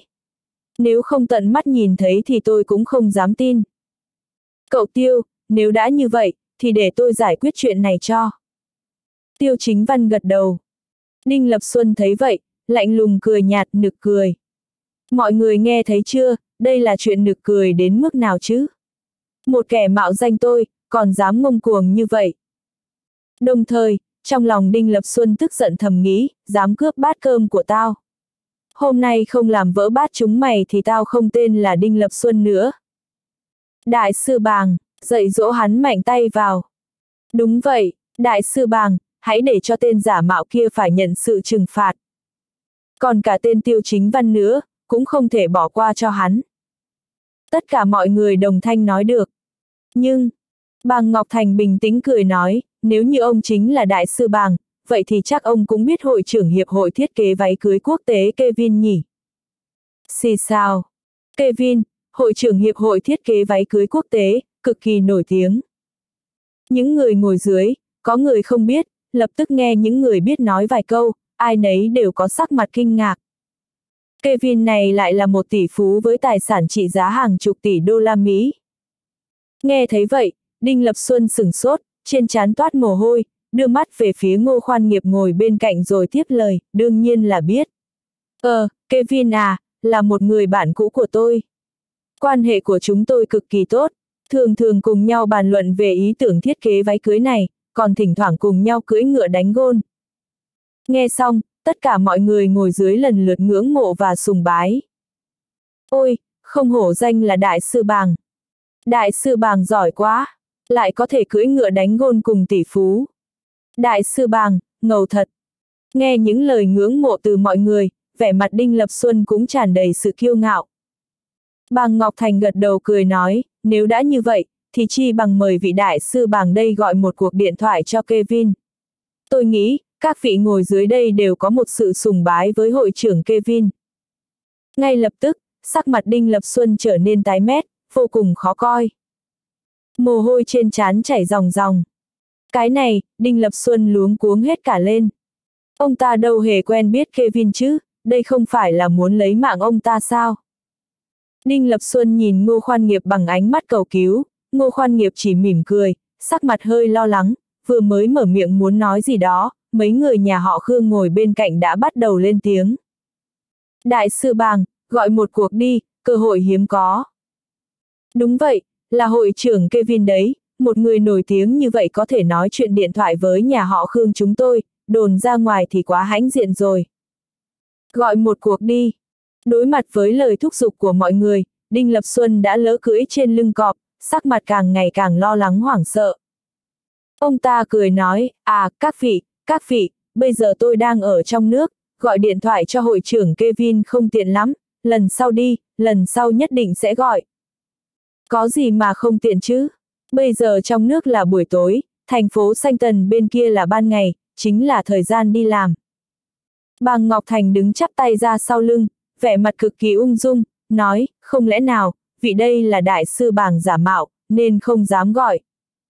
Nghe xong, Đinh Lập Xuân hoảng hốt, mặt đỏ bừng, nói, ai nói tôi là giả mạo chứ? Còn dám nói bậy, tôi chỉ là, chỉ là quên đem theo điện thoại. Không mang điện thoại à, tôi có này. bà Ngọc Thành bình tĩnh lấy điện thoại ra. Không chỉ ông ấy, khi người nhà họ Khương thấy cảnh này cũng lần lượt đưa điện thoại của mình ra, vô cùng kích động nói. Đại sư Bàng, dùng điện thoại của tôi này. Điện thoại của tôi là đời mới nhất, dùng của tôi đi. Nhất định phải gọi, nhất định phải khiến cho tên lừa đảo này biết bản lĩnh và sức ảnh hưởng của đại sư bàng. Thấy người nhà họ Khương nhiệt tình như vậy, mười mấy chiếc điện thoại đưa đến trước mặt mình, Đinh Lập Xuân hoảng sợ. Ông ta thầm nhủ xong đời rồi, xong đời rồi. Sau đó, Đinh Lập Xuân liếc nhìn Ngô Khoan Nghiệp bằng ánh mắt cực kỳ lo lắng, Ngô Khoan Nghiệp cũng lập tức đứng dậy, lạnh lùng nói, đủ rồi. Đại sư bàng sao có thể dễ dàng để kẻ giả mạo này nghi ngờ. Nếu ông nói mình là thật, vậy thì chi bằng ông tự gọi điện thoại cho hội trưởng Kevin một cuộc đi. Nói đến đây, ngô khoan nghiệp nhếch mép cười gian xảo. Tuyệt vời! Đầu óc mình cũng khá nhanh nhạy đấy.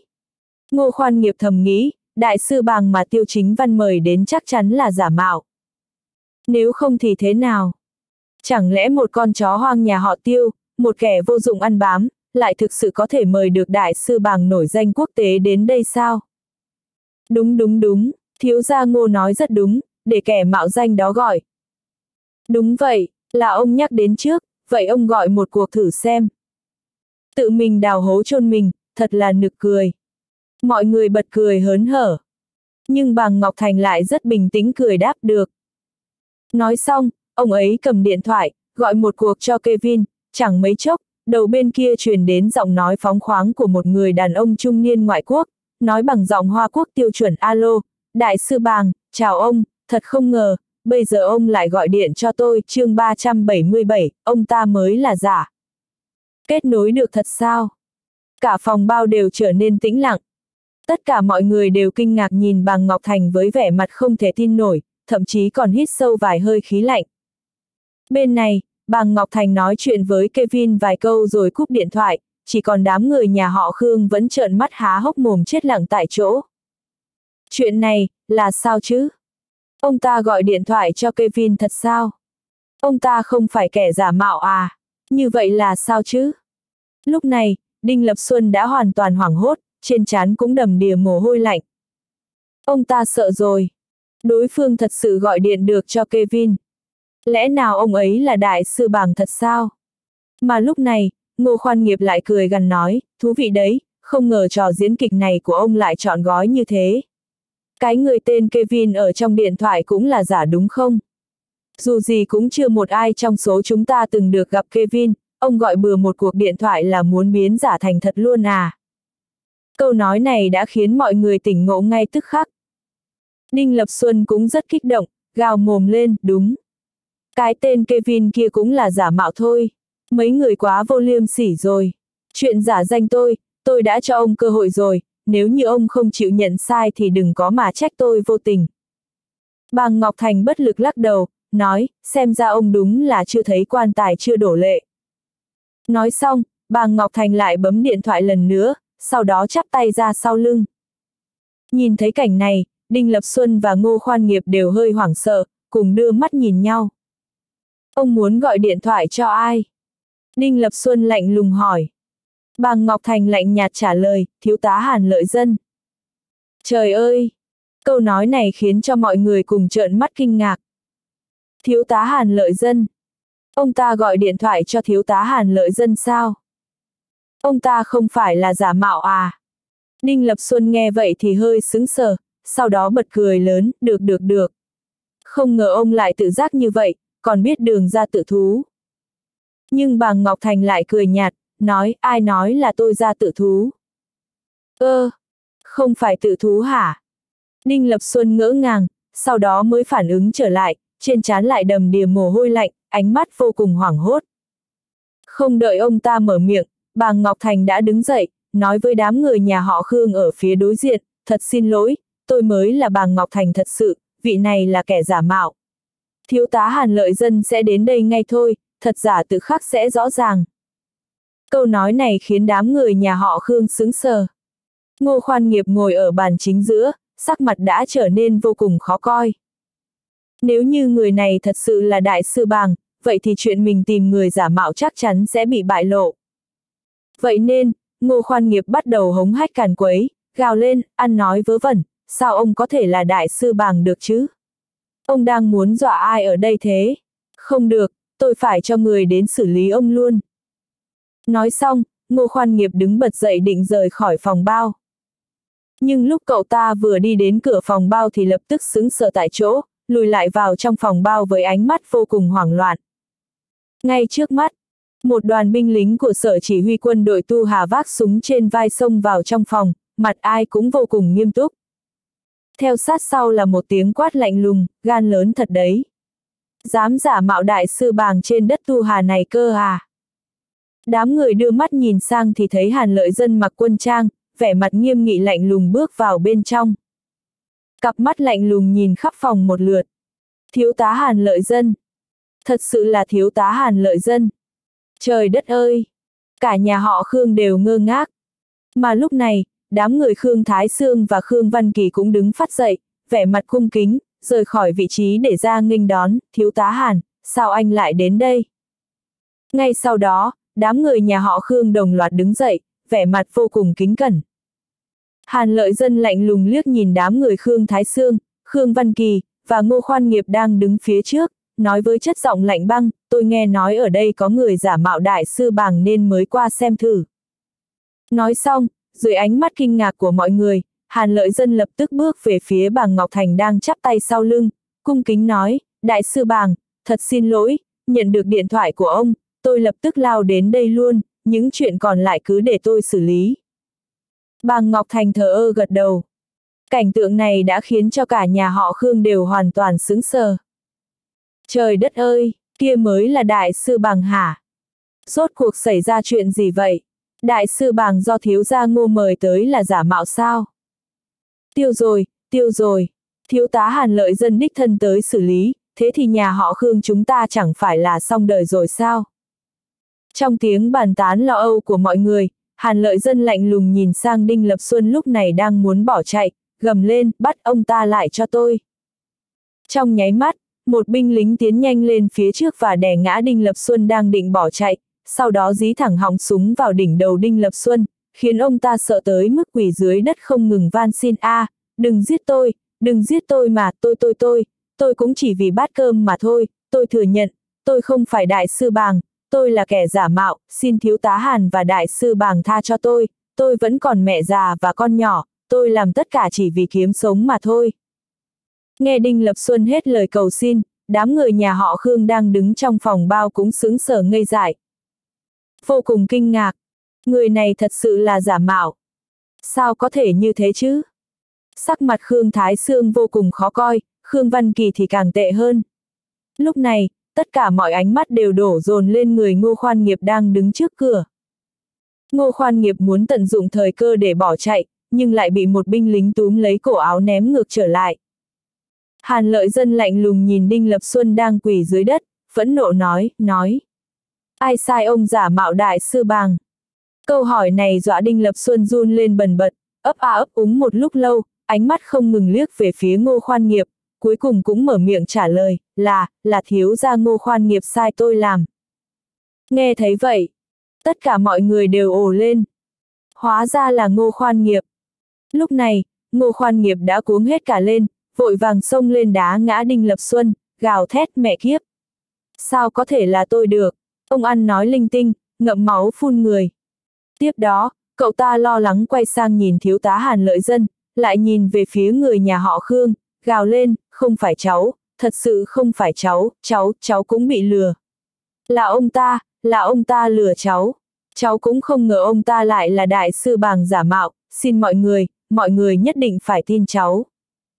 Ninh Lập Xuân nằm dưới đất, lập tức phản bác cậu ăn nói linh tinh, chính cậu là người sai tôi giả mạo đại sư bàng, còn trả cho tôi 50.000 tệ tiền công. Có cái dám, ông dám mưu hại tôi à? Ông đây đánh chết ông. Ngô khoan nghiệp nổi điên, xông đến đấm đá Đinh Lập Xuân. Hàn lợi dân lập tức sai hai binh lính kéo hai người đó ra, sau đấy đè họ xuống mặt đất, lạnh lùng nói, dẫn tất cả bọn họ về điều tra. Nghe vậy, ngô khoan nghiệp liền gào mồm lên, không phải tôi. Mỹ nghiên, em phải tin anh, anh thật sự bị lừa mà. Ngay sau đó, Ngô Khoan Nghiệp và Đinh Lập Xuân bị dẫn ra khỏi phòng bao. Bầu không khí trong phòng bao trở nên vô cùng khó xử và tĩnh lặng.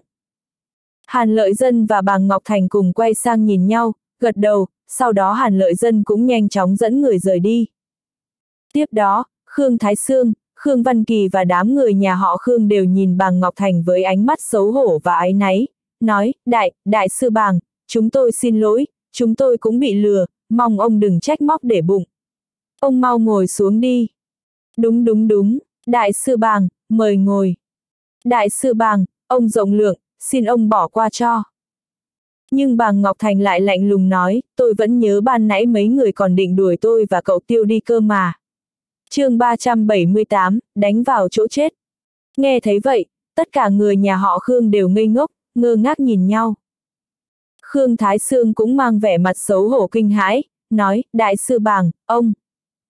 Nhưng mà, không đợi Khương Thái Sương giải thích, Bàng Ngọc Thành quay người bước về phía Tiêu Chính Văn và Khương Vi Nhan, nói cậu Tiêu, mọi việc giải quyết xong rồi, chúng ta nên về thôi nhỉ.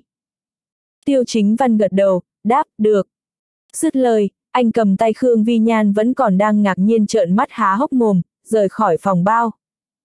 Đợi đám người Tiêu Chính Văn đi khuất, đám người nhà họ Khương trong phòng bao mới phản ứng lại, bắt đầu bàn tán sôi nổi.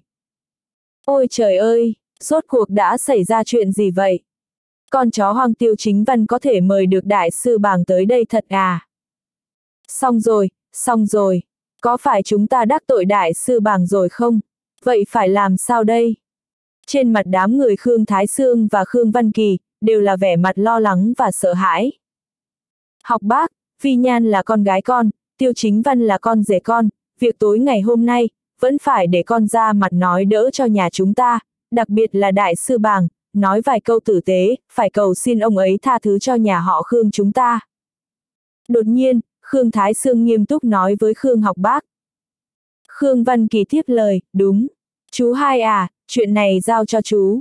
Chuyện này liên quan đến sự phát triển và tương lai của nhà họ Khương chúng ta, chú nhất định phải xử lý cho tốt. Khương học bác sừng sốt, mặt đần ra, nhưng không thể không gật đầu đồng ý, để con thử xem. Còn bên này, sau khi tiêu chính văn đưa Khương Vi Nhan ra khỏi phòng bao, Khương Vi Nhan vẫn ngẩn ngơ như cũ, rất lâu sau mới phản ứng lại. Cô dừng bước, ánh mắt nghiêm túc nhìn tiêu chính văn, hỏi anh, quen biết với đại sư bàng thật à? Tiêu chính văn cười đáp, đương nhiên rồi, không phải anh đã nói với em rồi sao? Hốc mắt Khương Vi Nhan lập tức đỏ ửng, nước mắt lưng tròng, nhìn tiêu chính văn đầy vẻ tự trách, nói em xin lỗi, lúc trước đã trách lầm anh rồi, em lẽ ra nên tin tưởng anh. Tiêu chính văn khẽ cười, nhẹ nhàng lau nước mắt cho cô, nói, không sao, được rồi được rồi, chúng ta về thôi. Ngày hôm sau, Khương Vi Nhan đến công ty làm việc như thường lệ, Tiêu Chính Văn cũng đưa Nana đi học, sau đó đến tập đoàn Đỗ Thị. Tập đoàn Đỗ Thị ở Tu Hà. Lúc này, ở cổng lớn công ty đột nhiên xuất hiện bảy tám gã đàn ông to lớn xăm trổ đầy mình, hùng hùng hổ hổ kéo nhau xông vào. Đỗ tình tuyết, ai là Đỗ tình tuyết? Mau ra đây cho ông. Dẫn đầu là một gã đàn ông cao khoảng mét tám, trên cánh tay còn có hình xăm, ánh mắt phẫn nộ. Sự việc xảy ra bất ngờ, gã đàn ông này còn dẫn theo nhiều người, hơn nữa còn nói oang oang, lập tức thu hút ánh nhìn của mọi người. Vài nhân viên bảo vệ vội vàng xông ra, ngăn cản trước mặt bọn chúng, lớn tiếng quát các anh là ai? Ra ngoài, nếu không ra ngoài chúng tôi báo cảnh sát. Báo cảnh sát, báo cái con mẹ mày.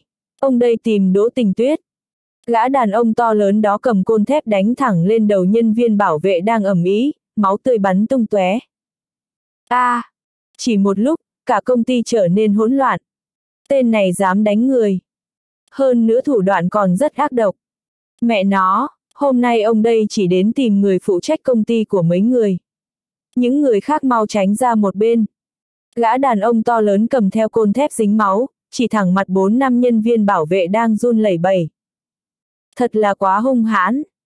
Động tĩnh phía bên này cũng đã nhanh chóng được truyền đến phòng làm việc của Tổng Giám Đốc. Tổng Giám Đốc Đỗ, không hay rồi, có người tới công ty chúng ta gây chuyện. Trợ lý An An vội vàng đẩy cửa phòng Tổng Giám Đốc ra. Gây chuyện. Đỗ tình tuyết nhíu mày, đi đôi giày cao gót, mặc trên người bộ váy ngắn màu đen, vội vàng đi thang máy xuống tầng 1 của công ty. Lúc đó, tầng 1 của công ty đã vô cùng hỗn loạn, bảy tám gã đàn ông to lớn xông vào gây rối đang đối đầu với nhân viên bảo vệ. Đỗ Tình Tuyết nhanh chóng đến hiện trường, sắc mặt u ám, bảo người đưa nhân viên bảo vệ bị thương đi trước, sau đó đứng che chắn trước mặt mấy người bảo vệ. Cô chính là Đỗ Tình Tuyết hà. Gã đàn ông to lớn đó nhìn thấy người đẹp trước mặt, đôi mắt hiện rõ dục vọng tham lam, nhưng nhanh chóng che giấu. Tôi là Đỗ Tình Tuyết, Tổng Giám đốc Tập đoàn Đỗ Thị ở Tu Hà, có chuyện gì, anh cứ nói với tôi. Vẻ mặt Đỗ Tình Tuyết lạnh lùng, giọng điệu cao ngạo. Ha ha! Gã đàn ông to lớn cười khẩy, ném một túi thuốc trong tay xuống mặt đất, giận dữ quát tháo, đại ca tao uống thuốc do công ty chúng mày sản xuất, nhưng bệnh không hề khỏi mà bây giờ còn đang hôn mê bất tỉnh trong bệnh viện. Tao nói cho chúng mày biết, nếu như hôm nay không cho anh em tao một lời giải thích, thì tao sẽ phá nát công ty của chúng mày. Gã đàn ông to lớn cao hơn mét 8, chỉ thẳng mặt đỗ tình tuyết, vẻ mặt tựa như sắp ăn tươi nuốt sống cô ta. Tập đoàn Đỗ Thị không chỉ lấn sân vào thị trường bất động sản, mà còn tham gia sản xuất dược phẩm. Đây cũng chính là dự án mới được đưa vào gần đây của tập đoàn Đỗ Thị. Đỗ Tình Tuyết liếc nhìn hộp thuốc dưới đất, đẩy nhân viên bảo vệ sang một bên, lạnh lùng nói, đây là tập đoàn Đỗ Thị, không phải bệnh viện. Đại ca anh có vấn đề gì thì nên hỏi bệnh viện chứ không phải đến đây làm loạn. Bảo vệ đâu, mau đưa người ra ngoài. Con đàn bà thối tha, mày muốn chết à? Đây chính là thuốc của công ty chúng mày, đại ca tao uống xong mới bị hôn mê bất tỉnh. Nếu đại ca tao có mệnh hệ gì thì tao sẽ giết chết mày. Gã đàn ông lực lưỡng đó lớn tiếng mắng Đỗ Tình Tuyết. Đỗ Tình Tuyết tức giận tái mặt, lông mày dựng ngược, công ty chúng tôi chỉ sản xuất thuốc, thành phần thuốc cũng đã được Cục Quản lý Dược phẩm phê duyệt, nếu như bệnh nhân dùng thuốc mà có vấn đề gì, thì nên tìm đến bệnh viện, chứ không phải tìm chúng tôi. Chẳng lẽ chỉ cần uống thuốc của công ty chúng tôi, bệnh nhân có vấn đề gì, thì vấn đề thuộc về thuốc của công ty chúng tôi hay sao? Mẹ nó, thuốc mà công ty chúng mày sản xuất chính là thuốc hại người. Gã đàn ông to lớn này rõ ràng là đến gây sự, đột nhiên tát lên mặt của Đỗ Tình Tuyết một bạt tai, cái tát này không hề nhẹ mà còn rất hung ác. Một vài nữ nhân viên bên cạnh bị dọa đến mức hét lên. Bảo vệ cũng hoảng hốt, nếu đánh tiếp thì bát cơm của họ cũng sẽ mất luôn. Đột nhiên, ngoài cửa có một giọng nói lạnh lùng sắc bén vang lên. Vẻ mặt tiêu chính văn u ám lạnh tanh bước vào, tức giận quát, nếu mày còn đánh tiếp thì tao bảo đảm hôm nay mày sẽ không bước nổi ra cái cửa này đâu. Ai có quy định thuốc do công ty bọn tao sản xuất, bệnh nhân uống vào phải hết bệnh. Lỡ như đại ca của mày uống thứ khác nữa thì sao? Cút ngay cho tao. Đỗ tình tuyết bị dọa sợ nhắm nghiền hai mắt lại, cô ta cảm thấy có một luồng sức mạnh sắp đánh lên mặt mình. Tiêu chính văn đẩy đỗ tình tuyết ra, không để gã đàn ông to lớn đó kịp phản ứng, đạp thẳng một phát vào người hắn, bịch một tiếng, gã đàn ông to lớn ngã nhào xuống đất, sau đó anh lạnh lùng nhìn hắn. Mẹ mày, mày muốn chết à? Bụng của gã đàn ông to lớn giống như bị xe cán qua, nửa tiếng sau cũng không thể bỏ dậy. Tên danh ngáng đường này là ai? Trình hổ hắn là người luyện võ. Người bình thường không thể chạm được vào hắn, vậy mà người đàn ông trẻ tuổi đột nhiên xuất hiện trước mặt này lại đá một phát khiến hắn không dậy nổi. Chắc chắn đối phương là một người có bản lĩnh. Trình hổ hơi sợ hãi, nhưng hôm nay hắn được đại thiếu gia tống của công ty dược lực dương chỉ thị đến đây gây chuyện. Cầm tiền làm việc, hắn không thể bỏ dở giữa chừng, như vậy sẽ hủy hoại danh tiếng của hắn, sau còn ai dám tìm trình hổ hắn bàn công việc nữa đây. Trình hổ chịu đựng cơn đau ở bụng, bò dậy, tức giận quát, mày muốn chết à? Anh em đâu, xông lên cho tao, đánh chết chúng nó. Xảy ra chuyện gì ông đây chịu trách nhiệm, chương 379, quá mạnh rồi đấy. Sau tiếng gào giận dữ của tên đàn ông cường tráng, mấy tên côn đồ phía sau vốn đã không thể kiềm chế được, đồng loạt vung gậy thép lao tới. Mấy cô nhân viên đã sợ hãi hét lên ẩm ý. Khí lạnh trên người tiêu chính văn tỏa ra tứ phía, trong mắt lóe lên sát khí nồng đậm. Bốp! Ngay khi Trình Hổ vừa dứt lời, một tiếng bà tai vang lên rõ ràng trong sảnh chính tầng một của công ty. Tiêu chính văn giơ tay tát một cái thật mạnh, nghe âm thanh cũng đủ để thấy sức lực kinh đến mức nào. Trình hổ vừa đứng lên, cơ thể không khỏi lảo đảo, trên mặt in hẳn dấu tát đỏ như máu. Trong khoảnh khắc im lặng ấy, tất cả mọi người đều hít sâu vài hơi. Một tên ngang ngược không sợ trời sợ đất như trình hổ thường xuyên gây gổ, đánh nhau với người khác, đương nhiên thân thủ không hề tồi. Tuy nhiên, cái tát này đã khiến đầu hắn phải ong ong. Đám người xung quanh như chết lặng. Một số nhân viên bảo vệ rất kích động, nhìn thấy vệ sĩ riêng của Tổng Giám Đốc đã đứng ra, khiến áp lực của họ như được giải tỏa ít nhiều, ai nấy đều nước mắt giàn giụa. Đây là vệ sĩ riêng của Tổng Giám Đốc sao? Lợi hại thật đấy. Đúng là người hùng trong lòng họ mà. Các nhân viên có mặt đều sững sờ, phải một lúc sau mới có phản ứng. Cách hành sự của tiêu chính văn thực sự quá bất ngờ.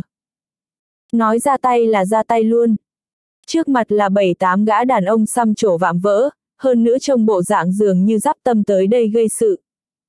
Ngầu quá! Ánh mắt của mấy cô nhân viên sáng lên như sao, công nhận tiêu chính văn rất đàn ông. Lại nhìn những đồng nghiệp nam khác có mặt, ai nấy đều co rúm người lại, lùi về phía sau khi thấy có chuyện, chỉ có anh đứng ra, tiến lên phía trước. Đỗ tình tuyết thoát khỏi vòng tay của tiêu chính văn, cau mày, nhìn anh một cách đầy tức giận, anh ta điên à. Nếu làm to chuyện này lên thì giải quyết kiểu gì đây? Trình hổ lúc này mới có phản ứng, khuôn mặt đầy tức giận, đôi mắt đỏ ngầu. Đây là lần đầu tiên có người dám vừa đá vừa tát hắn. Nếu chuyện này bị truyền ra ngoài, làm sao hắn có thể tiếp tục lăn lộn ở tu hà nữa chứ? Hắn bực dọc, con người đỏ ngầu nhìn chằm chằm tiêu chính văn, sau đó giống lên, nhãi danh, mày dám đánh tao. Được, được lắm, ông đây phế tay mày luôn. Đám anh em đứng phía sau hắn cũng bị cảnh ra tay của tiêu chính văn làm cho kinh hãi, đứng ngây ra, bọn chúng đờ đẫn nhìn nhau, rồi lại nhìn anh hổ trước mặt. Tiêu chính văn lạnh lùng hừ một tiếng, tỏ vẻ khinh thường, đánh mày thì sao? Tao cho chúng mày một cơ hội, lập tức cút ngay. Nếu không, tao vả chết chúng mày. Mày vả thử đi xem nào. Ngay khi Trình Hổ vừa dứt lời, lại có thêm một tiếng tát giòn tan vang dội.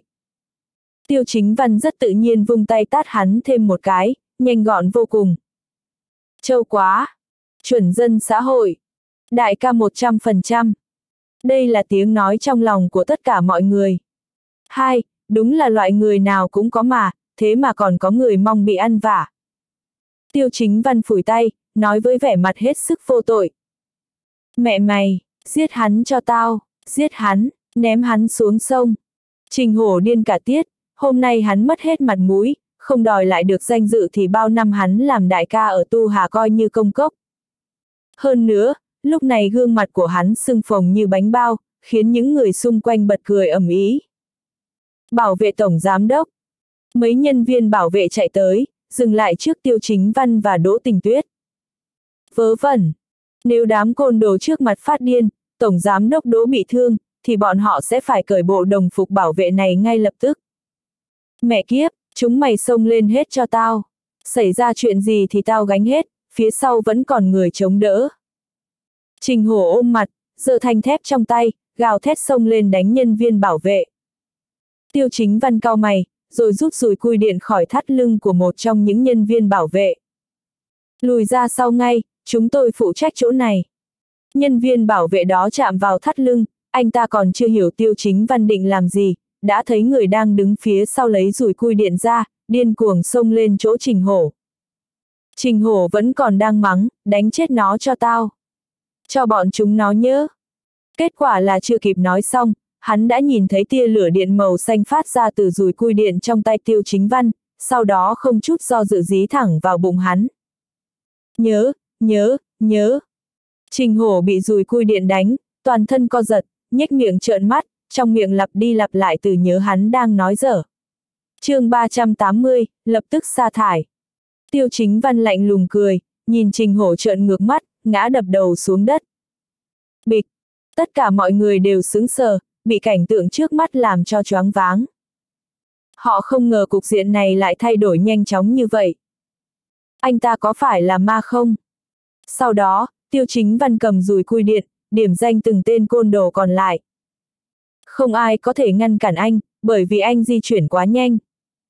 Nhìn thấy tám tên lưu manh nằm co quắp trên mặt đất, tiêu chính văn thờ ơ thả rùi cui điện xuống, anh phủi tay, tỏ vẻ khinh thường. Yếu như vậy còn học đòi người khác, ra vẻ nguy hiểm. Tiêu chính văn khịt mũi lạnh lùng. Mà những người xung quanh lúc này đều ngẩn ra, nhìn tiêu chính văn với bộ dạng khó tin. Anh ta lợi hại quá. Giải quyết tất cả trong một giây. Anh ta bị làm sao thế? Một thân một mình mà giải quyết được hết đám người này. Hơn nữa, chỉ với một cái rùi cui điện. Tiêu chính văn cảm thấy có vô số ánh mắt tập trung vào mình, quay đầu lại nói với nhân viên bảo vệ, đứng ngây ra làm gì, báo cảnh sát đi. Thằng kia, mày, mày gặp rắc rối to rồi, thiếu gia tống sẽ không tha cho mày đâu. Trình hổ nằm trên mặt đất, cả người run lẩy bẩy, ngẩng cổ lên cố nói ra một câu.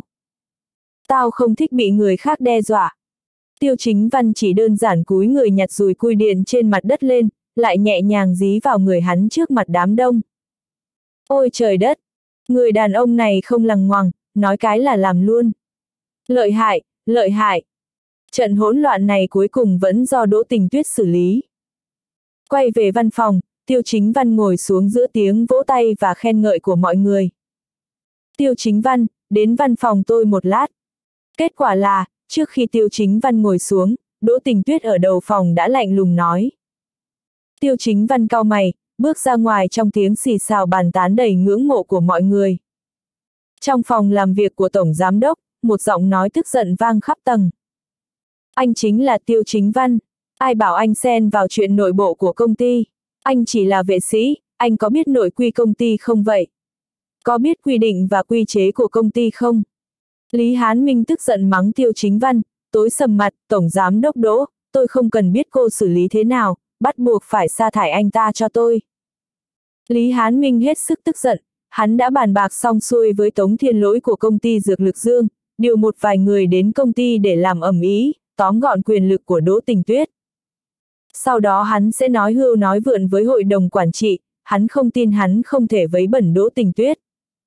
Cứ như vậy, Đỗ Tình Tuyết buộc phải rời khỏi Tu Hà do áp lực, và tập đoàn Đỗ Thị ở Tu Hà sẽ thuộc về Lý Hán Minh hắn. Lý Hán Minh là ai?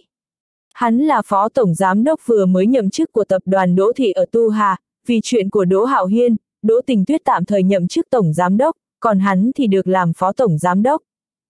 Tuy nhiên, Lý Hán Minh không cam tâm làm phó tổng giám đốc. Nhưng bây giờ thì hay rồi, tự dưng lòi ra tên tiêu chính văn này, giải quyết ổn thỏa mọi chuyện. Hơn nữa hắn còn nghe thuộc hạ nói rằng một mình anh ta đã khiến tám gã đàn ông vạm vỡ hôn mê bất tỉnh chỉ bằng một dùi cui điện. Đúng là nói linh tinh.